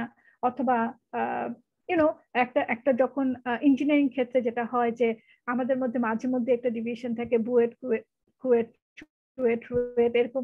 আবার এখন তো প্রাইভেট ইউনিভার্সিটি অ্যাড হয়েছে। কাজে sometimes there is a you know একটু মিক্স হওয়ার ক্ষেত্রে একটা ইয়ে দেখা যায়। তো এই অ্যাটিটিউডটা কিন্তু আসলে কাজের পরিবেশকে প্রভাবিত করে। কারণ আমাদের ইঞ্জিনিয়ারিং ডিসিপ্লিনটা এরকম যে আমাদের প্রজেক্টগুলো কিন্তু খুব মাল্টি ডিসিপ্লিন প্রজেক্ট এবং আমাদের প্রজেক্টগুলো তো দেখা যায় অনেককে নিয়ে একটা টিম ওয়ার্ক রাইট তো, এবং আমরা এক একজন এক একটা কাজ করছি। ধরেন এই বড় মেগা, আমাদের যে মেগা প্রজেক্টগুলো চলছে, সেখানে যেরকম স্ট্রাকচারের কাজ হচ্ছে, সেখানে যেরকম ইলেকট্রিক্যালের কাজ হচ্ছে, সেখানে ড্রেনেজের কাজ হচ্ছে, কাজে এই ইঞ্জিনিয়াররা তো সব ডিফারেন্ট ডিসিপ্লিন থেকে এসছে। তাহলে এদের সবার সাথে মিলে যদি আমি কাজ না করতে পারি, তাহলে কিন্তু প্রজেক্টটা সাফার করে। কারণ আমাদের ইঞ্জিনিয়ারিং প্রজেক্টগুলো খুবই টাইম বাউন্ড এবং খুবই এখানে দেখবে যে বড় বড় কনসালটেন্টদেরকে যাদেরকে আওয়ারলি বেসিসে পেমেন্ট করা হয় হ্যাঁ তোমাদের এই যে একটা মানে ফাইন্যান্সিয়াল স্টেকটা কিন্তু খুব বড় থাকে আমাদের এই প্রজেক্ট গুলোতে। তো কাজে ইঞ্জিনিয়ারিং প্রজেক্টগুলো, তো কাজে আমার অ্যাটিটিউডটা খুব ইম্পর্টেন্ট আমার I need to be a good team member হ্যাঁ ইন অর্ডার টু মানে হেল্প মাই প্রজেক্ট তো কাজে আমার অ্যাটিটিউড ইম্পর্টেন্ট ফ্যাক্টর আরেকটা হচ্ছে অর্গানাইজেশনাল পলিসিস এখানে কি কি ধরনের পলিসি আছে? পলিসিগুলো কি লাইক আই উড সে যে এমপ্লয়ি ফ্রেন্ডলি কিনা এখানে কি সেক্সুয়াল হ্যারাসমেন্ট রিলেটেড কোনো পলিসি আছে কিনা, তাহলে কিন্তু তার মানে হচ্ছে এরকম কোনো পলিসি যদি থাকে সেই কোম্পানিতে তার মানে ওখানে সবাই কিন্তু অ্যালার্ট থাকবে। So there is less chance of having those kind of problem maternity leave এর পলিসি কেমন আছে? অ্যাজ আ ফিমেল আমার এটা একটা বড় ফ্যাক্টর অবশ্যই আমার জন্য যে ম্যাটার্নিটি লিভ দেওয়া হয় কিনা, নাকি এখানে প্রেগনেন্ট উইমেনদেরকে ওভাবে একটু মানে ইউনো নাইসলি অ্যাকসেপ্ট করা হয় না।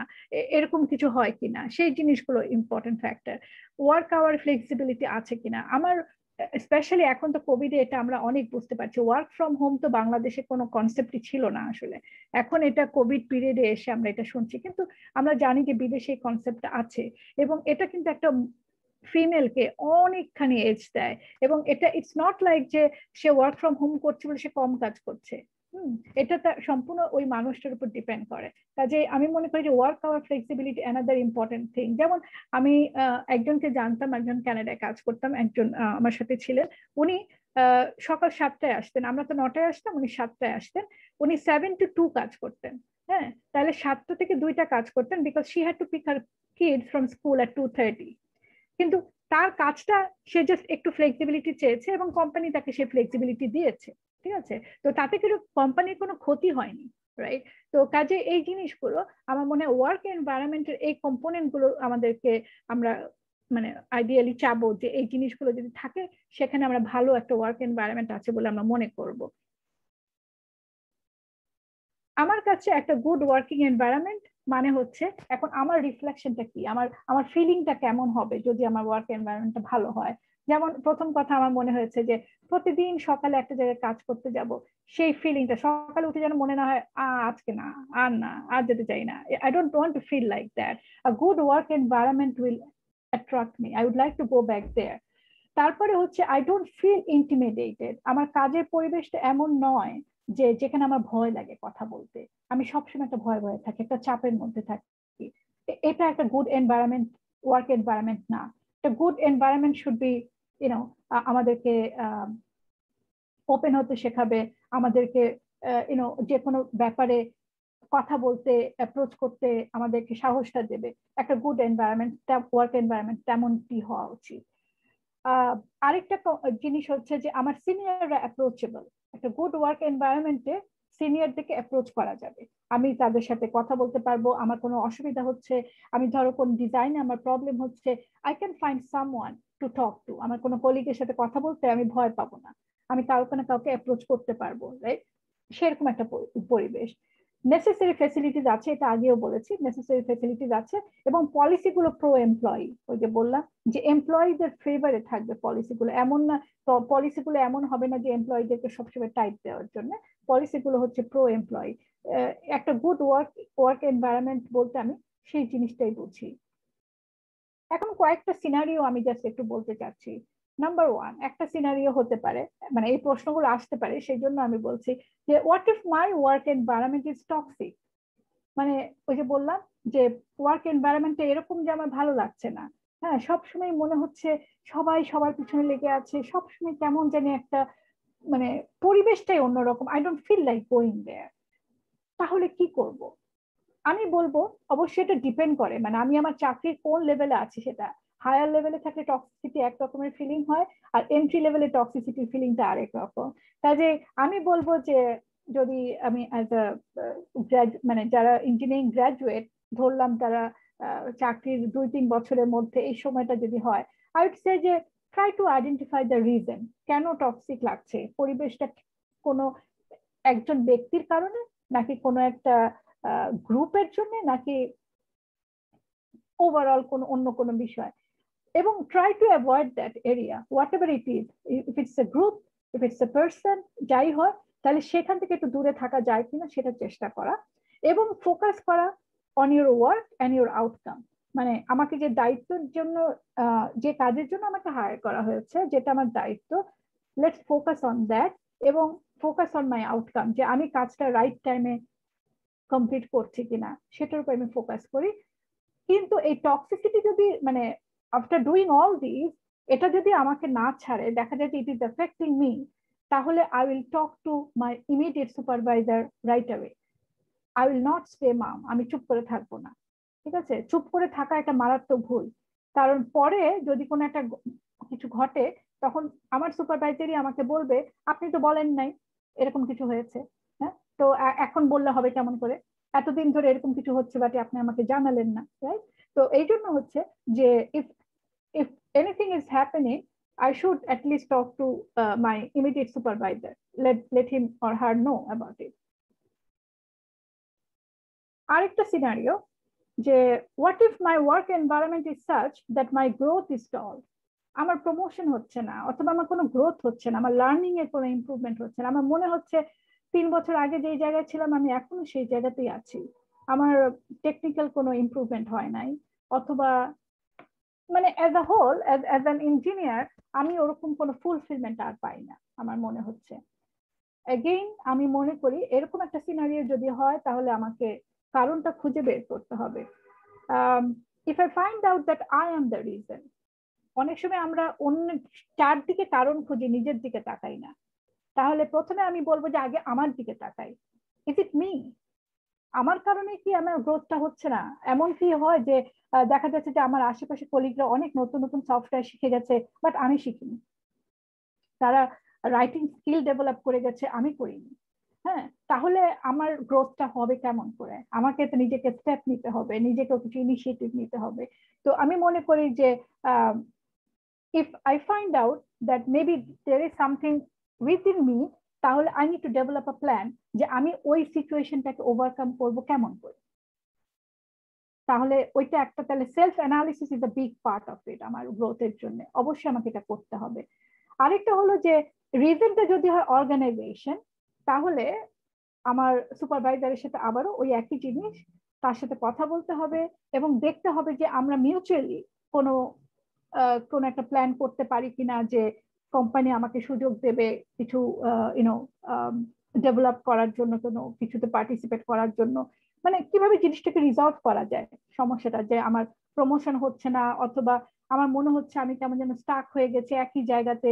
Do I want to change the department আমি কি সিভিলেই আছি, কিন্তু আমি হয়তো বা মিউনিসিপাল ডিপার্টমেন্ট থেকে এখন একটু ড্রেনেজে যেতে চাই, অথবা ড্রেনেজ না, আমি এখন একটুখানি ডিজাইনে যেতে চাই। আমাদের অনেকগুলো প্রজেক্টে এখন মানে ফিল্ডে কাজ হচ্ছে I want to go there হ্যাঁ যেগুলো ডিজাইন বিল্ড প্রজেক্ট আছে, আমি সেগুলোতে জয়েন করতে চাই, অথবা I want to do modelling সেটাও হতে পারে। কেউ যদি বলে যে, না, আমি অনেকদিন ডিজাইন মানে ফিল্ডে কাজ করেছি, এখন আমি ডেস্কে ফেরত আসতে চাই। So whatever it is আমাকেই, আমাকে স্টেপটা নিতে হবে, আমাকেই বলতে হবে সেটা হ্যাঁ। আমি না চাইলে পরে কেউ আমার জন্য এটা করে দেবে না। হ্যাঁ আমার একটা ছোট্ট গল্প আছে যেটা আমি মাঝে মধ্যেই বলি। সেটা হলো আমি যখন ক্যানাডাতে প্রফেশনাল ইঞ্জিনিয়ার হিসেবে কাজ করছি, আমি মোস্টলি মডেলার ছিলাম। আমি মডেলিং করতাম, ভালোবাসতাম এবং যে কারণে যেটা হয় যে একবার একটা জিনিস শুরু করলে সবাই তখন খালি মডেলিং ই করতে দিত। তো একদিন আমি আমার কলিগকে একটা ছেলে কলিগকে বলছিলাম যে আমার সুপারভাইজারের কথা যে, ও আমাকে কেন ফিল্ডে যেতে দেয় না? মানে আমি তো ফিল্ডে যেতে চাই। আমাদের তখন, আমি তো ছিলাম ভ্যানকুভারে তখন ভিক্টোরিয়াতে একটা কাজ হচ্ছিল I was interested about that তো আমি ওকে বললাম যে, আমার তো খুব ইচ্ছা করে যেতে ও যেতে দেয় না। এই সেই। তখন ও বলল যে maybe it's not him it's you আমাকে ও বলল। আমি বললাম what you mean by that ও বলল যে maybe you have given him that attitude যে, তুমি আসলে যেতে চাও না ফিল্ডে তুমি ডেস্ক জবই লাইক করো। তখন ওর কথাটা আমি শুনলাম এবং তারপর I I thought about it এবং পরে আমি ফাইনালি রিয়েলাইজ করলাম যে he was right I never approach my supervisor যে আমি আসলে ফিল্ডে যেতে চাই আমি আসলে কখনো তাকে বলি নাই। বরং আমি সবসময় খুবই আনন্দের সাথে মডেলিং করতাম এবং সেটা খুবই অ্যাপ্রিসিয়েট করতাম। So he thought that that's it I I like it so you know I don't want to go anywhere else তো কাজেই ওইটা খুব ইম্পর্টেন্ট নিজের জিনিসটা বুঝতে পারাটা। আর আরেকটা হলো যে আই ক্যান অলসো যদি আমার ইমিডিয়েট সুপারভাইজারকে আমি মনে করি যে তাকে বলে কোনো লাভ হবে না বা আমার সাথে সেই সম্পর্কটা তার নাই, তখন আমি অন্য কোনো সিনিয়রের সাথে কথা বলব যার সাথে আমার একটা গুড রেপোর্ট আছে। হ্যাঁ তো কাজেই ওই যে নেটওয়ার্কিং এর কথা বলল Farzana it is very important যে আমি যেখানে কাজ করব, আমার কিন্তু একটা গ্রুপ থাকতে হবে যারা আমাকে সাপোর্ট দিবে। এটা উই মাস্ট ডু ইট এটা কোনো অনেকে বলে যে না, এ তো বেশি চালাক গ্রুপ দল করে, আমি সেই বাংলাদেশি অর্থে দলবাজি মিন করছি না। In a good sense you need to have a good professional network within within your office within your company আমার একটা গুড গ্রুপ থাকতে হবে যাদের সাথে আমি কথা বলতে পারি যাদের কাছে আমি প্রফেশনাল অ্যাডভাইস চাইতে পারি টাইম টু টাইম যাওয়া আসা করতে পারি যে আমাকে একটু হেল্প করেন বা এটা করেন তো ওইটা আমার দরকার হ্যাঁ তো ফাইনালি আই উড সে যে think positive think positive irrespective of what my work environment is uh, we need to think positive and focus on what you can change not on something that is beyond your reach. অনেক সময় আমার অনেক কিছু থাকে যেটা আমার রিচের মধ্যে নাই I can't do anything about it কাজে যেটা কিছু করতে পারব না, সেটা নিয়ে মাথা ঘামিয়েও আমার কোনো লাভ নেই। So I I would focus on something that I can change and with my action I believe like we can create a better path for those who are coming after me right তো একটা মেয়ে যখন হয়তো বা তার একটা fight দিতে হয়, একটা কোম্পানিতে ধরলাম, একটা কোম্পানিতে চাইল্ড কেয়ারের জন্য তেমন কোনো প্রভিশন নাই। কিন্তু হয়তো দুই, তিনজন এটার জন্য প্রচুর ফাইট দিল, তাদের অনেক চোখের জল ঝরলো, তারা অনেক কান্নাকাটি করল, অনেক রাত দিন তারা পার করল এটা নিয়ে, অনেক মন খারাপ। বাট ফাইনালি ফাইনালি তারা সাকসেসফুল হলো। তাহলে এরপরে যারা আসবে ওখানে, তারা কিন্তু ওই বেনিফিটটা পাবে। এবং সেই ফিমেল ইঞ্জিনিয়াররাই বেনিফিটটা পাবে এবং মেল ইঞ্জিনিয়াররাও পাবে এখন যেরকম অবস্থা আমাদের দেশে বা সব জায়গাতে কাজে child care support is a big problem তো কাজে এটা একটা এক্সাম্পল দিলাম আর কি আমি so my final word to the young engineering students and going to be engineers think positive and focus on what you can change, not something that is beyond your reach. And with your action, you can create a better path for those who follow you. Thank you again for inviting me and inviting us. And please uh, get uh, stay connected with WebNet. And with this connection, we'll be able to create a better future for all Bangladeshi engineers, especially female engineers. Thank you. Thank you ma'am আমাদের আজকের ওয়েবিনারে third speaker হচ্ছেন Fahima Shahadat ma'am thank you thank you সবাইকে so আমার ক্যামেরাটা যে কেন on of হয়ে যায় আমি জানি না বোধহয় আমাকে দেখতে চাচ্ছে না কেউ। আমি বুঝতে পারছি না এটা বারবার অফ হয়ে যাচ্ছে। Anyhow yes it is now here yeah so আবার এটা গেল। Okay just ignore my camera আমাকে শোনা তো যাচ্ছে তাই না? ওকে সো আমি একটু আমার পরিচয়টা দিয়ে দিই, যেহেতু আমি আসলে ব্যাকগ্রাউন্ডটা বলি নাই। আমি এইচএসসি পাস করেছি হলিক্রস থেকে। আমরা কিন্তু পাঁচজন আবার হলিক্রসেরও এবং পরে বুয়েট থেকে। এরপর আমি আয়ারল্যান্ড থেকে একটা স্কলারশিপ পেয়ে মাস্টার্স করি ওয়াটার রিসোর্স ইঞ্জিনিয়ারিং এ দেন আমি অনেক দিন আইডাব্লিউএম এ কাজ করেছি, প্রায় বারো বছর। এবং সেখানে আমি মডেলিং ম্যাথমেটিক্যাল মডেলিং নিয়ে কাজ করছি। এখানে প্রসঙ্গটা চলে আসছিল নাজমুনের মুখে, সেজন্য মনে হলো যে একটু বলি। এরপরে আমি যেটা করেছি, আমি দেখছিলাম যে ইঞ্জিনিয়াররা বিভিন্ন প্রজেক্টে সাপোর্টিং রোল হিসাবে কাজ করে অ্যাজ এ কনসালটেন্ট বা একটা টেকনিক্যাল সাপোর্ট হিসাবে কাজ করে। তো সেই জন্য আমি, আমার মনে মনে আমি চাচ্ছিলাম লিডারশিপ রোলে চলে যেতে। এবং এরপরে কাকতালীয়ভাবে আমার সুযোগও আসে। আমি হচ্ছে কনস্ট্রাকশন ইন্ডাস্ট্রি কর্পোরেটে চলে যাই। আমি বিভিন্ন মাল্টিন্যাশনাল কোম্পানিতে কাজ করি। সেই সাথে আমি আমার এক্সিকিউটিভ এমবিএটাও করে ফেলি নর্থ সাউথ ইউনিভার্সিটি থেকে। এবং এখনও আমি গত দশ বছর ধরে আমি কর্পোরেটেই আছি। সো এখন আমি তোমাদের কিছু টিপস দিতে চাই, যেটা আমি ফেস করেছি তোমাদের তোমরা এখন যে সময়ে আছো, যে সময় স্বপ্ন দেখছ আসলে মানে জুনিয়র অবস্থায় আমি নাজমুনের পথ ধরে কিছু এক্সাম্পল আমি তোমাদের দিব। আমার অভিজ্ঞতা থেকে আমি যেটা বলি যেটা মনে করে যে যখন আমি যে লেভেলেই হোক জুনিয়র লেভেলে হোক বা মিড লেভেলে হোক, আমি যখন একটা কোম্পানিতে ঢুকবো অ্যাজ ইঞ্জিনিয়ার আমি ওই যদিও আমরা ওয়েবনেটে বলছে যে আমরা নারী প্রকৌশলীদের নিয়ে কাজ করছি, প্রফেশনাল ক্ষেত্রে ওই নারী শব্দটাকে বাদ দিতে হবে। That is that is for sure because আমি মনে করি যে কোম্পানিগুলো কিন্তু হ্যাঁ ওদের হয়তো অ্যাটমসফিয়ার থাকতে পারে, না থাকতে পারে বাট আই আই আমাকে আমার পথে চলে যেতে হবে। কারণ সবাই একটা গোল সেটিং থাকে যে আমি এভাবে এই লাইনে কাজ করব, এত বছর ধরে কাজ করে যাব এবং আমি যেটা খুব গভীরভাবে বিশ্বাস করি যে যদি হার্ডওয়ার্ক করা যায় এবং লেগে থাকা যায়, কেউ না কেউ উপর থেকে তোমাকে দেখছেই they will pick you and তোমাকে টানবে। হ্যাঁ তো হয়তো বা বা নিজে অনেক সময় গিয়ে বলতে হবে, কিন্তু ওই আমি মেয়ে, আমি একটু প্রিভিলেজ পাবো হয়তো বা এই আশায় বসে থাকলে হবে না। এখানে কর্মক্ষেত্রটা একটু ডিফারেন্ট তোমরা, আমি তোমাদের এই ক্ষেত্রটা দেখি শিক্ষা জীবনটা যে প্লেনে ওঠার আগে রানওয়েতে যখন প্লেনটা ঘোরে, একটা স্থানে এসে, এটা কিন্তু আবার টেক অফ করে একটা জায়গায় এসে। তোমাদের কিন্তু টেক অফ করার জায়গাটায় তোমরা চলে এসছো। তোমাদের হচ্ছে এখন উপরে উঠতে হবে মানে আরেকটা আরেকটা লেভেলে যেটা যেতে হবে সেটা হচ্ছে কেরিয়ার হ্যাঁ? তো ওইখানে কিন্তু কেউ কাউকে, এখানে যেমন কিছু হলে আয়সা আপার কাছে যাচ্ছ আয়সা ম্যাডামের কাছে যাচ্ছে, ওখানে কিন্তু কেউ হেল্প করবে না। You have to go through it হ্যাঁ? তোমাকেই তোমারটা বুঝে যেতে হবে। তোমার ওখানে প্রবলেম নিয়ে যাওয়াটাকে কেউ অ্যাপ্রিসিয়েট করে না। সলিউশন সহ প্রবলেম নিয়ে যাওয়াটাকে প্রফেশনাল লাইফে অ্যাপ্রিসিয়েট করে। So you have to work hard hard and hard হ্যাঁ? সেই সাথে আমি তোমাদের ইয়াং মেয়েদের এই প্রজন্মের, আমার মেয়েও কিন্তু তোমাদের বয়সে, আমার মেয়ে থার্ড ইয়ারে পড়ছে। আমার দুটো মেয়ে, আমি এটা আসলে আমি আমার ওভাবে পরিচয় রেডি করে আসি না আমার বড় মেয়েটা হচ্ছে রাটগার্স ইউনিভার্সিটিতে পড়ছে নিউ জার্সিতে হচ্ছে কম্পিউটার ইঞ্জিনিয়ারিং এর সেকেন্ড ইয়ার কমপ্লিট করল, এই ফল থেকে থার্ড ইয়ার শুরু করবে। সে, সেও কিন্তু তোমাদের মতো তৈরি করছে নিজেকে। এবং যেটা হচ্ছে যে তোমাদের কিন্তু এটা মাইন্ডসেট রাখতে হবে যে তোমাদের ফ্যামিলিও রান করতে হবে। হ্যাঁ?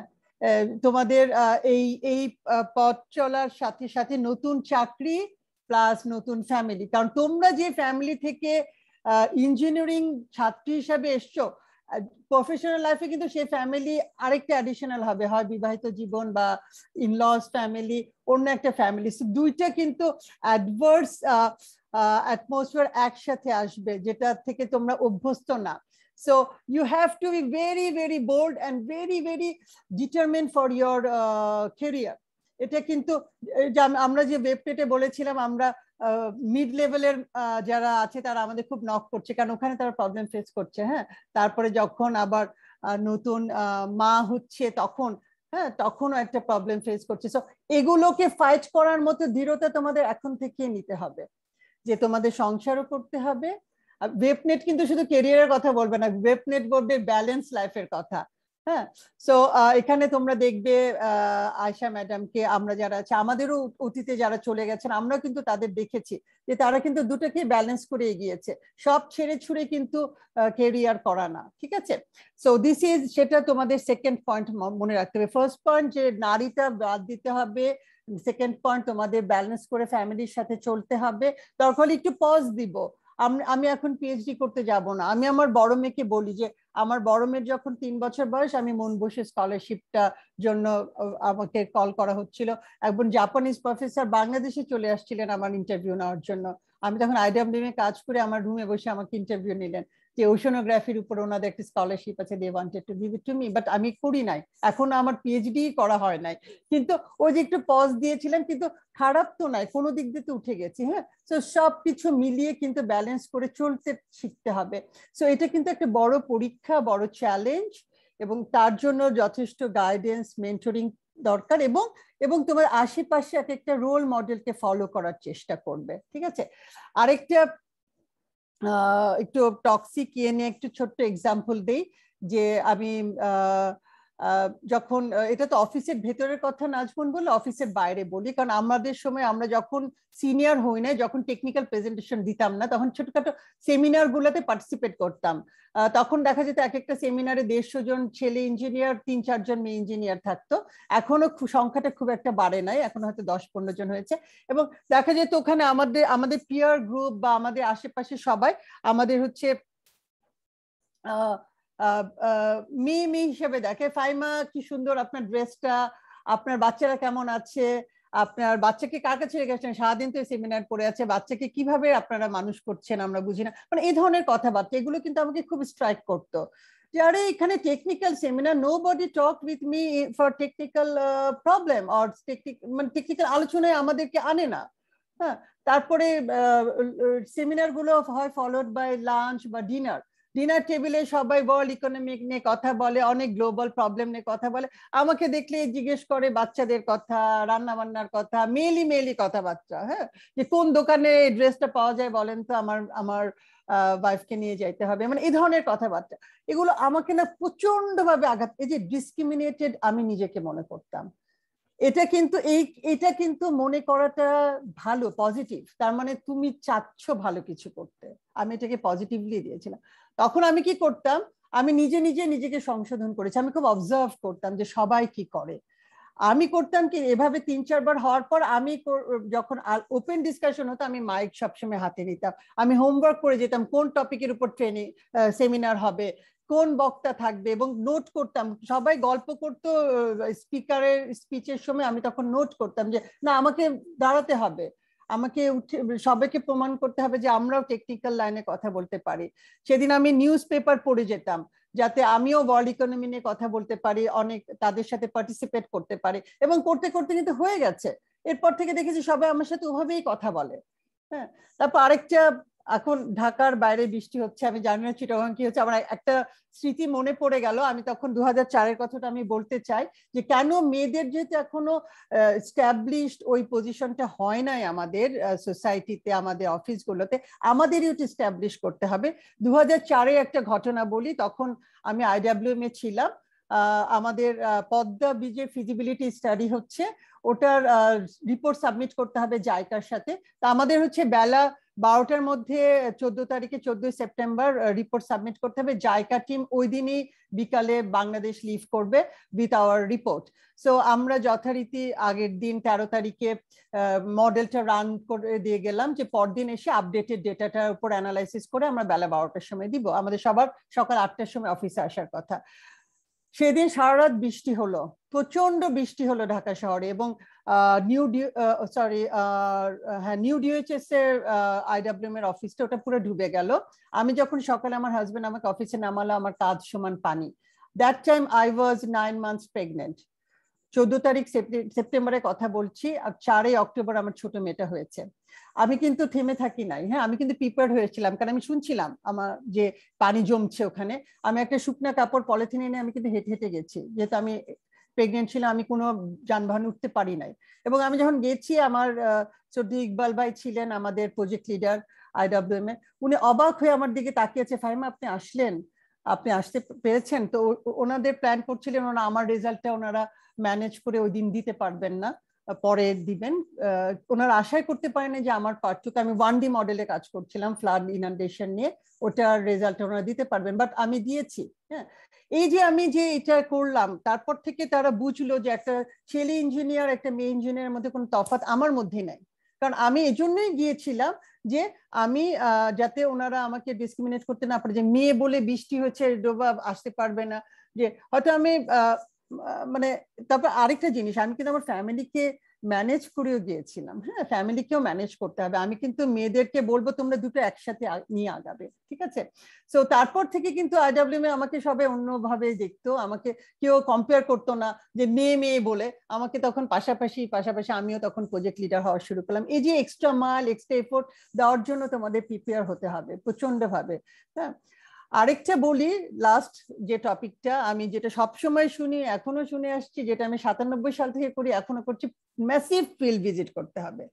ফিল্ড ভিজিট ছাড়া ডেস্কে কাজ করে you can't be a good engineer at least civil engineer হওয়া যায় না। দ্যাট ইজ ফর শিওর এবং অনেকে বলে আমাদের পরিবেশ নয় আমি এগুলো বিশ্বাস করি না। কারণ আমি যখন থেকে ফিল্ডে যাওয়া শুরু করেছি, আমি তখন ২৬ বছরের একটা মেয়ে ছিলাম। আমাদের সময় আরও কম ছিল, মেয়ে ইঞ্জিনিয়াররা সোসাইটি আরও একসেপ্ট করতো না, মেয়েরা ফিল্ডে যাচ্ছে। তবে আমরা যেটা করেছিলাম, আমরা ওই ওই সময় অ্যাডজাস্ট করে, আমরা কিন্তু খুব সচেতন ছিলাম যে আমি যে আজকে নোয়াখালীতে যাব, আমি যে আজকে কুমিল্লায় যাব, আমি কোন ড্রেসটা পরে যাব? আমি আমি নিশ্চয় ওই ওইখানকার কনজারভেটিভ সোসাইটি আমি বীজ নিয়ে বেশি কাজ করেছি, আমি রিভার ট্রেনিং ওয়ার্ক নিয়ে বেশি কাজ করেছি। সো আমাকে অনেক রিমোট জায়গায় যেতে হতো। We have to be very very cautious and we have to respect all the uh, uh, actually uh, the সোসাইটিকে সোসাইটির নিয়ম কানুনকে আমাদের রেসপেক্ট করতে হবে হ্যাঁ? যে আমি ওখানে একটা শার্ট প্যান্ট পরে চলে গেলাম সেটা তো হবে না হ্যাঁ? সো দেখো আমাদের দেশে বিদেশিরা যখন এনজিওতে কাজ করতে আমরা রাস্তাঘাটে দেখবে অনেকে কিন্তু সালভার কামিজ পরে ঘোরে হ্যাঁ? সো ওইটা করে আমি হলফ করে বলতে পারি আমাদের মেয়েদের মানে পরিবেশ আছে আমাদের ক্রিয়েট করে নিতে হবে আমাদের ওটার সাথে অ্যাডজাস্ট করে ক্রিয়েট করে নিতে হবে। আমি কোনোদিন, কোনো সময় কোনো ক্রিটিসিজম শুনি নাই। মানে কোনো কমেন্ট করেছে যে মেয়ে গেছে সাইটে এরকম কোনো কমেন্ট শুনি নাই। সো এগুলো তোমাদের মাথায় রেখে আগাতে হবে। But I never say no for any site visit আমাদের সময় ভেহিকেলও ছিল না ঠিক মতো আমরা পাবলিক বাসে গেছি। আমাদের জুনিয়র কলিগরা আমাদের সাথে গেছে। একটা টিম হিসাবে গেছি। একা একা যাওয়ার সাহস হয়নি। তারপরে দেখো, আমাদের সময় তো ঢাকা চিটগাং রোড ছাড়া অন্য কোনো রোডে মেয়েদের বাথরুমই ছিল না। আমরা ওভাবেই চলেছে অ্যাডজাস্ট করে যখনই কারও অফিসে গেছি তখনই বাথরুমটা করেছে, পানি খুব সীমিত খেতাম হ্যাঁ কিন্তু কখনো নো বলি নাই হ্যাঁ তারপর থাকার ব্যাপারে বলে সবাই, থাকারও কিন্তু অনেক ভালো ভালো জায়গা আছে, যেমন আমরা ওয়াটার বোর্ডের গেস্ট হাউসে থাকতাম রোডস অ্যান্ড হাইওয়েজ এলজিডির গেস্ট হাউসে থাকতাম, আমরা ওরকম হোটেলে থাকার এখনও পরিবেশ নাই, তখনও ছিল না আই ডু এগ্রি বাট তোমরা, কিন্তু করা যায়, আমার মনে হয় ইট ইজ পসিবল সো তোমরা হচ্ছে তোমাদের অনেক বোল্ড হতে হবে প্রচণ্ড বোল্ড হতে হবে, খুব দৃঢ় মানব, মন নিয়ে আগাতে হবে। এটা কিন্তু is not so easy journey এবং আমরা জানি এটা ইজি জার্নি না সেই জন্য কিন্তু আসলে ওয়েবপেটটা তৈরি করেছি তোমাদের বলার জন্য হ্যাঁ? আর তোমরা আশেপাশে নাজমুন যেটা বলো আশেপাশে সবাইকে দেখে শিখবে। ফারজানা যেটা বলল, আশেপাশে নেটওয়ার্কিং এ সবাইকে দেখে শিখবে। এজন্য শিখবে যে আমরাও কিন্তু দেখেছি তোমরা হয়তো ওয়াটার রিসোর্সে যারা আছো ডোরা আপার নাম শুনবে ওয়াটার বোর্ডে ছিলেন উনি Bangla engineer women civil engineer ওনাকেও যেমন আমরা ফলো করতাম, উনি কি করতেন, উনি কিন্তু কোনদিন সাইট প্রতিবার উনি সাইটে যেতেন, প্রতি প্রতি প্রজেক্টের উনি সাইট ভিজিট করতেন। সো আমার একটা রিকোয়েস্ট যে তোমরা যখন প্রফেশনাল লাইফে যাবে, তোমরা কোনো কোনো কাজকে নো বলো না এভরিথিং ইজ পসিবল জাস্ট তোমাদের একটু অ্যাডজাস্ট করে নিতে হবে, কারণ আমাদের সোসাইটি এখন অনেক কিছু অ্যাডজাস্ট মানে আমাদের জন্য যে বলে না it's not bed of roses এটা কেউ সাজিয়ে রাখবে না, তোমাকে আদায় করে করে নিতে হবে। সো এটা বলে আজকে আমার বক্তব্য এখানে শেষ করছি। তোমাদের যদি কোনো কমেন্ট থাকে বা তোমরা যদি সংযুক্ত থাকতে চাও you can come in our web page R professor আয়েশাকে আমি অনেক ধন্যবাদ জানাই। ওনার, যদিও একটা খুব ছোট নোটিস আমি কিন্তু কোভিড পজিটিভ আমি কিন্তু আমার রুম থেকে ট্রিটমেন্ট রুম থেকে বসে কথা বলছি আজকে। আই কোয়াইট সিক বাট আমি যখনই প্রফেসর আয়সা বলেছিলাম যে আমি চুয়েটের সাথে কথা বলব। I have a weakness for CUET. আমার টিমে অনেক চুয়েটে ভালো ভালো ছেলেরা কাজ করেছে। আমি এখন পর্যন্ত কোনো মেয়ে ইঞ্জিনিয়ার পাই নাই চুয়েট থেকে। Hopefully in future I will get one or two women engineer in my team so আমি এটা বলে শেষ করছি। প্রফেসর আয়সাকে অসংখ্য ধন্যবাদ। স্যার আছেন, স্যারকে অসংখ্য ধন্যবাদ।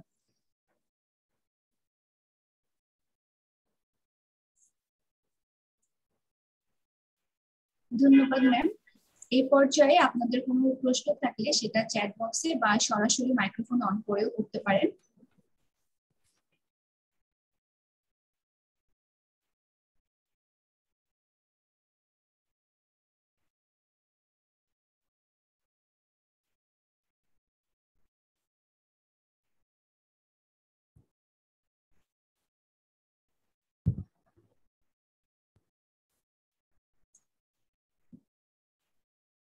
আমি এখন professor doctor Ayesha Akter ma'am faculty advisor ASCE student chapter চুয়েটকে অনুরোধ জানাচ্ছি, তার বক্তব্য প্রদানের জন্য। ধন্যবাদ, ফারিহা। শুভ সন্ধ্যা। আসলে আমরা সন্ধ্যায় শুরু করেছি, এটা প্রায় রাত হয়ে গিয়েছে। সবাই খুব ধৈর্য নিয়ে এখনও শুনছি এবং কোশ্চেন আনসারিং পার্টটুকু আমরা আসলে একটু স্কিপ করছি। আজকে অলরেডি অনেকগুলো কোশ্চেন আমি দেখতে পাচ্ছি কমেন্ট বক্সে আজকে আসলে আমাদের একটা নতুন ভাবে নিজেদেরকে পরিচিত হওয়ার একটা প্ল্যাটফর্ম ধন্যবাদ ওয়েবনেটকে।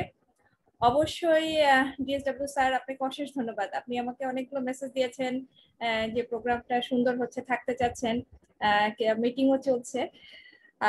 আমাদের এখানে এই প্ল্যাটফর্মে আসার জন্য নাজমুন আপা ফারজানা আপা এবং ফাহিমা আপা। ফাহিমা আপা খুব চমৎকার করে আইডব্লিউএম এর কথা বলেন। আপনি জেনে খুশি হবেন যে ভেতরে একজন আছেন আমাদের এখানকার টেন ব্যাচের স্টুডেন্ট। উনি আইডব্লিউএম এ জব করছে। কিন্তু ফাহিমা আপার সাথে আরেকটু চমৎকার ভাবে আমার পরিচয় আছে। ওনার নাম্বারটা আমার মোবাইলে সেভ করা ছিল। উনি আগে যেখানে চাকরি করতেন বিএসএফ ফাহিমা আপা। এটার কারণ হচ্ছে উনি একটা অ্যাডমিকচারের তখন আপা আপনি কি পোস্টে ছিলেন? আমার আমি তখন কান্ট্রি হেড ছিলাম কনস্ট্রাকশন কেমিক্যাল বিজনেস বিএসএফ হ্যাঁ। ওই কনক্রিট টেকনোলজিতে যেটা আমি চুয়েটে এসে আমি একটা সেমিনার করেছিলাম আমার মনে আছে হ্যাঁ। তো আপনার সাথে আমি কিন্তু খুব মানে আমার মেমোরিতেই ছিল না আইডব্লিউএম এর ওনার অনেকগুলো এক্সপিরিয়েন্স আছে। এবং এই এক্সপিরিয়েন্স শেয়ারিং আপা এটা আসলে আমাদের সাথে অনেকভাবে করতে হবে। আমরা খুব মানে খুব ছোটভাবেই প্রোগ্রামটা শুরু করেছি এভাবে যে যতগুলো স্টুডেন্ট চ্যাপ্টার আছে চুয়েটে যেখানে ইঞ্জিনিয়ারিং স্টুডেন্টরা আছেন, ওনাদেরকে, ওনাদের কে একটা প্ল্যাটফর্মে এনে আমরা একটা মেসেজ দেওয়া যে না আজকের দিনটা আমাদের জন্য। আর এর সাথে সাথে অনেকগুলো কথা আছে এক্সপিরিয়েন্স শেয়ারিং আছে। বিশেষ করে মানে এখন আমাদের ফিফটিন ব্যাচ যারা যারা আসলে প্রায় দেড় বছর ডিলে হয়ে গেল কোভিড এর কারণে, তারা এখন সার্টিফিকেট নিচ্ছে এবং তাদের ভেতরে অনেক কোশ্চেন অনেক কোয়ারি আছে এবং আমরা একটা প্ল্যাটফর্ম আমাদের চুয়েটের নিজেদের ভেতরে খুব ছোট করে একটা প্ল্যাটফর্ম আছে, সেটা চুয়েট গার্লস নামে আমরা একটা খুব ক্লোজড একটা গ্রুপে ফেসবুকের মাধ্যমে মেসেজ দেই। সেই সেই গ্রুপের থ্রু দিয়েই মূলত সাদিয়া আফরিন ও আইডাব্লিউএম এ আছে এবং বেশ অনেকেই আছে যারা গ্রাজুয়েট স্টুডেন্ট আমি এক এক করে নাম বলতে গেলে হয়তো সময় লাগবে। সাথে সাথে আমাদের খুব আদরের প্রথম বর্ষের শিক্ষার্থী, যাদের আইডি গুলোতে আপনারা নাইনটিন দেখছেন, ওরা আসলে এখনও আমাদের ইউনিভার্সিটির সবচেয়ে জুনিয়র মোস্ট স্টুডেন্ট ওনারা আছেন। নেটওয়ার্কিং এবং ওয়ার্ক প্লেসে কি কি সমস্যা আছে, আপনাদের একদম পার্সোনাল যে কথাগুলো শেয়ার করতে পারছেন, এটা এটা কিন্তু এই যারা ফিফটিন ব্যাচ থেকে এখন জবে ঢুকবে, এদের, ওরা কিন্তু প্রচণ্ড সাই থাকবে প্রচণ্ড কনফিউজ থাকবে। আমরা এই প্ল্যাটফর্মটা ধরে রাখব, এই যোগাযোগটা, এই বন্ধনটা আমরা আজকে শুরুর দিনে আমার খুব বক্তব্য আর রাখব না। সাধারণত এটা টু ওয়ে হলে ভালো হয়। যেটা ফারজান আপা বলছিলেন যে টু ওয়ে হলে আসলেই একটা সুন্দর পরিবেশনা হয় এবং আমরা আমাদের এই প্রচারণাটাও করেছি খুব সীমিত আকারে। আমাদের যে গ্রুপগুলো আছে, সেই গ্রুপগুলোর মাধ্যমে। আমরা খুব ওপেন প্ল্যাটফর্মে প্রচারণাটা করিনি। তার মাধ্যম মধ্য দিয়েই আমরা যারা শুনতে চান এবং আজকে যারা শুনছেন তারাই আগামীতে লিডার হবেন। আপনাদের পজিশনগুলোতে তারা যাবেন, এটা আশা করি। সবাইকে শুভরাত্রি এবং ধন্যবাদ। আমাদের এই পর্যায়ে খুব সীমিত আকারে কালচারাল একটা অ্যাক্টিভিটি আছে। আমরা আসলে নর্মাল হতে চাচ্ছি আর কি নতুন এই নিউ নর্মাল যে কন্ডিশন থেকে নর্মাল হতে চাচ্ছি। এবং আমরা এই প্ল্যাটফর্মটা ভবিষ্যতে আমাদের জন্য ধরে রাখব, আমাদের জব বিষয়ে আলোচনা হবে। এবং ফাইমা আপা খুব চমৎকার ভাবে বলেন যে ব্যালেন্স লাইফের জন্য আমরা এটা নিয়ে আলোচনা করব। ধন্যবাদ সবাইকে। ধন্যবাদ Asha ma'am. Professor doctor Asha ma'am ASCE student chapter CUET faculty advisor এখন আমরা অনুষ্ঠানের সাংস্কৃতিক কার্যক্রমে চলে যাব। প্রথমে আমরা একটা গান শুনব। গান নিয়ে আসছেন রেহনুমার রহমান, রেহনুমার রহিম ঐশী নাইনটিন ব্যাস থেকে এবং ইনস্ট্রুমেন্টে আছে আয়মান মাহিদা খান।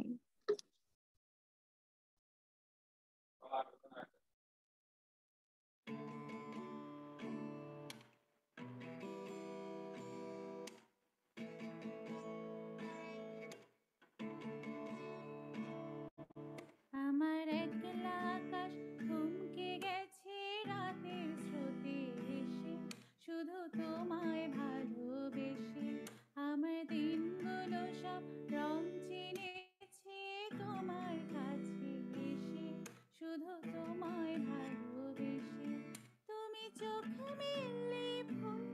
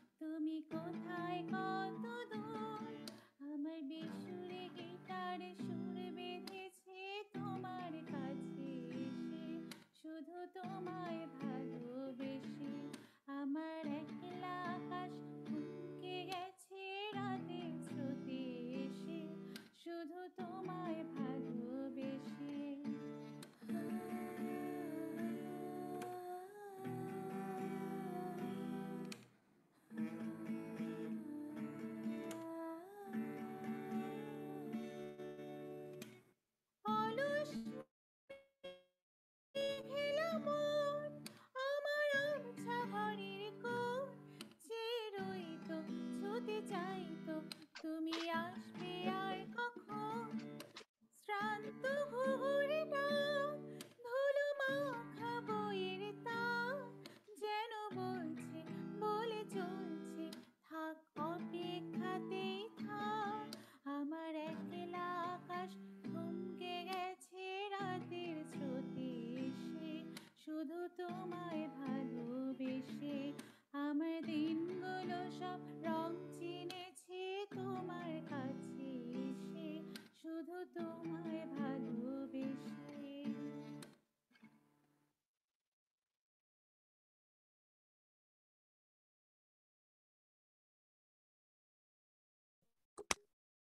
ধন্যবাদ রেহনুমাকে তার পরিবেশনার জন্য। এরপরে রয়েছে Mehjabin Islam Ilma, one eight batch, আবৃত্তি নিয়ে আসছে সে।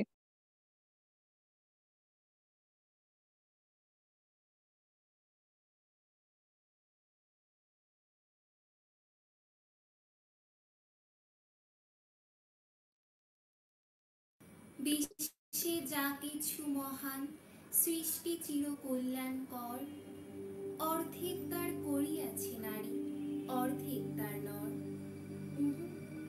নজরুল ভুল বলেছেন। নারী কবে কি করল ভালো?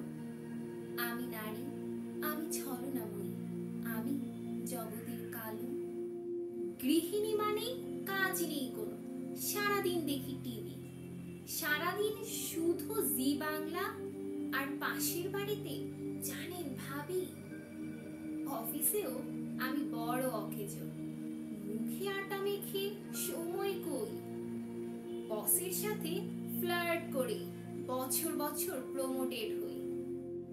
কথা কম বললে অহংকারী, বেশি বললে স্ল্যাট সমাজটাকে বিগড়ে দিচ্ছে আমার ব্লাউজের গান লক্ষ্মী ছেলে, হঠাৎ এত অবাধ্য হলো কেন? নিশ্চয়ই বউ বস করেছে, ডাইনি একটা যেন। ছেলে মেয়ে কথা শুনে না, মাই খেয়েছে মাথা। স্বামী করছে পরকিয়া, সেও আমারই ব্যর্থতা। প্রেম দিয়ে যদি আগলে রাখতাম, লক্ষ্মী বউয়ের মতো, দেবতা স্বামী আমার, সে কি অন্যমুখী হতো? ডিভোর্স হলেও আমারই সংসার টেকাতে পারিনি। আগে ভাগে সময় মতো ক্যারিয়ার কেন ছাড়িনি? আর চাকরি করার দরকারটা কি? অনেক কামায় স্বামী। ঘরে বাচ্চা রেখে অফিস করি। কেমন মামি? ধর্ষণটাও আমারই দোষ। এমে তোর ওনা কই?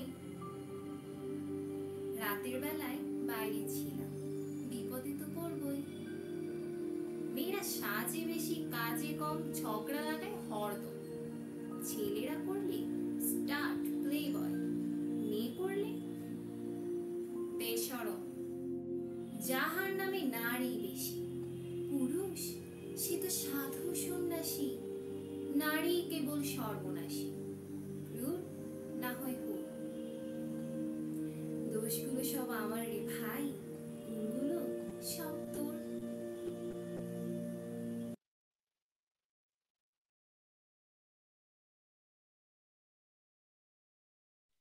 ধন্যবাদ দিলমাকে তার এই আবৃত্তির জন্য। এবার উনিশ প্যাস থেকে শাওলি জাহাঙ্গীর কর্নিয়া এর নাচ দেখে নেওয়া যাক।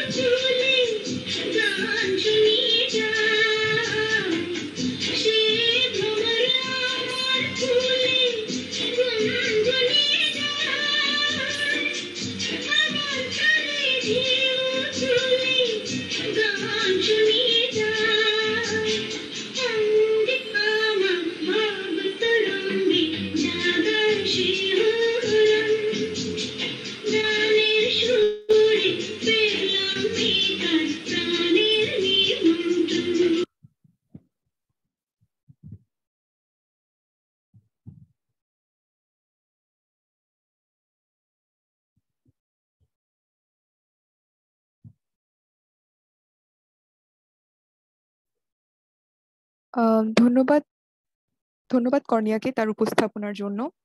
আমাদের শেষ উপস্থাপনা আবৃত্তি নিয়ে আসছে শিমুদে আপু। আসসালামু আলাইকুম, আমি শিমুদে। আবৃত্তি করছি এত শোনা শ্রেণির সেই মেয়েটা। যেই মেয়ে কাল রোদে কাপড় মেলছিল, সেই মেয়েটার অনেক নাকি গুণ ছিল। সেই মেয়েটার কি জানি কি ভুল ছিল সেই মেয়েটা আজ সিলিং এ ঝুলছিল। মেয়েটার শুনি বয়সটা খুব কম ছিল, তবুও তার বুকে অনেক দম ছিল। শক্ত হাতে ঘর সংসার করছিল। মেয়েটা নাকি পনেরো আগুনে পড়ছিল। সেই মেয়েটার আকাশ ছোঁয়ার সাজ ছিল। না দেখা সব দিন ছিল আর রাত ছিল। সেই মেয়েটার সামনে গভীর খাদ ছিল। সেই মেয়েটা মাঝরাতে খুব কাজ ছিল। যে মেয়েটার কাজল কালো চুল ছিল, সেই মেয়েটার কনের সাজার দিন ছিল। মুক্ত বেনি হাজারো জাল বুল ছিল। জলের মাঝে ইচ্ছেরা সব চুপ ছিল। সেই মেয়েটার জীবনটা কারাগার ছিল। লক্ষ টাকার পণের যে খুব ভার ছিল। ক্যাশ বাক্সে বন্দি বন্দি যে তার লাজ ছিল। তাই সিলিং ঝোলা সেই মেয়েটার লাশ ছিল। ধন্যবাদ সবাইকে। ধন্যবাদ শিমুদে আপু আপনার উপস্থাপনার জন্য। আমরা আমাদের অনুষ্ঠানের একদম শেষ পর্যায়ে চলে এসেছি। আমাদের সম্মানিত শিক্ষকবৃন্দ আজকের স্পিকার এবং উপস্থিত সকলকে আন্তরিকভাবে ধন্যবাদ জানাচ্ছি। আমাদের সাথে এতক্ষণ থাকার জন্য আশা করি সবাই ভালো থাকবে সুস্থ থাকবে আল্লাহ হাফেজ। ধন্যবাদ সবাইকে। আবার এরকম প্ল্যাটফর্মে দেখা হবে ইনশাল্লাহ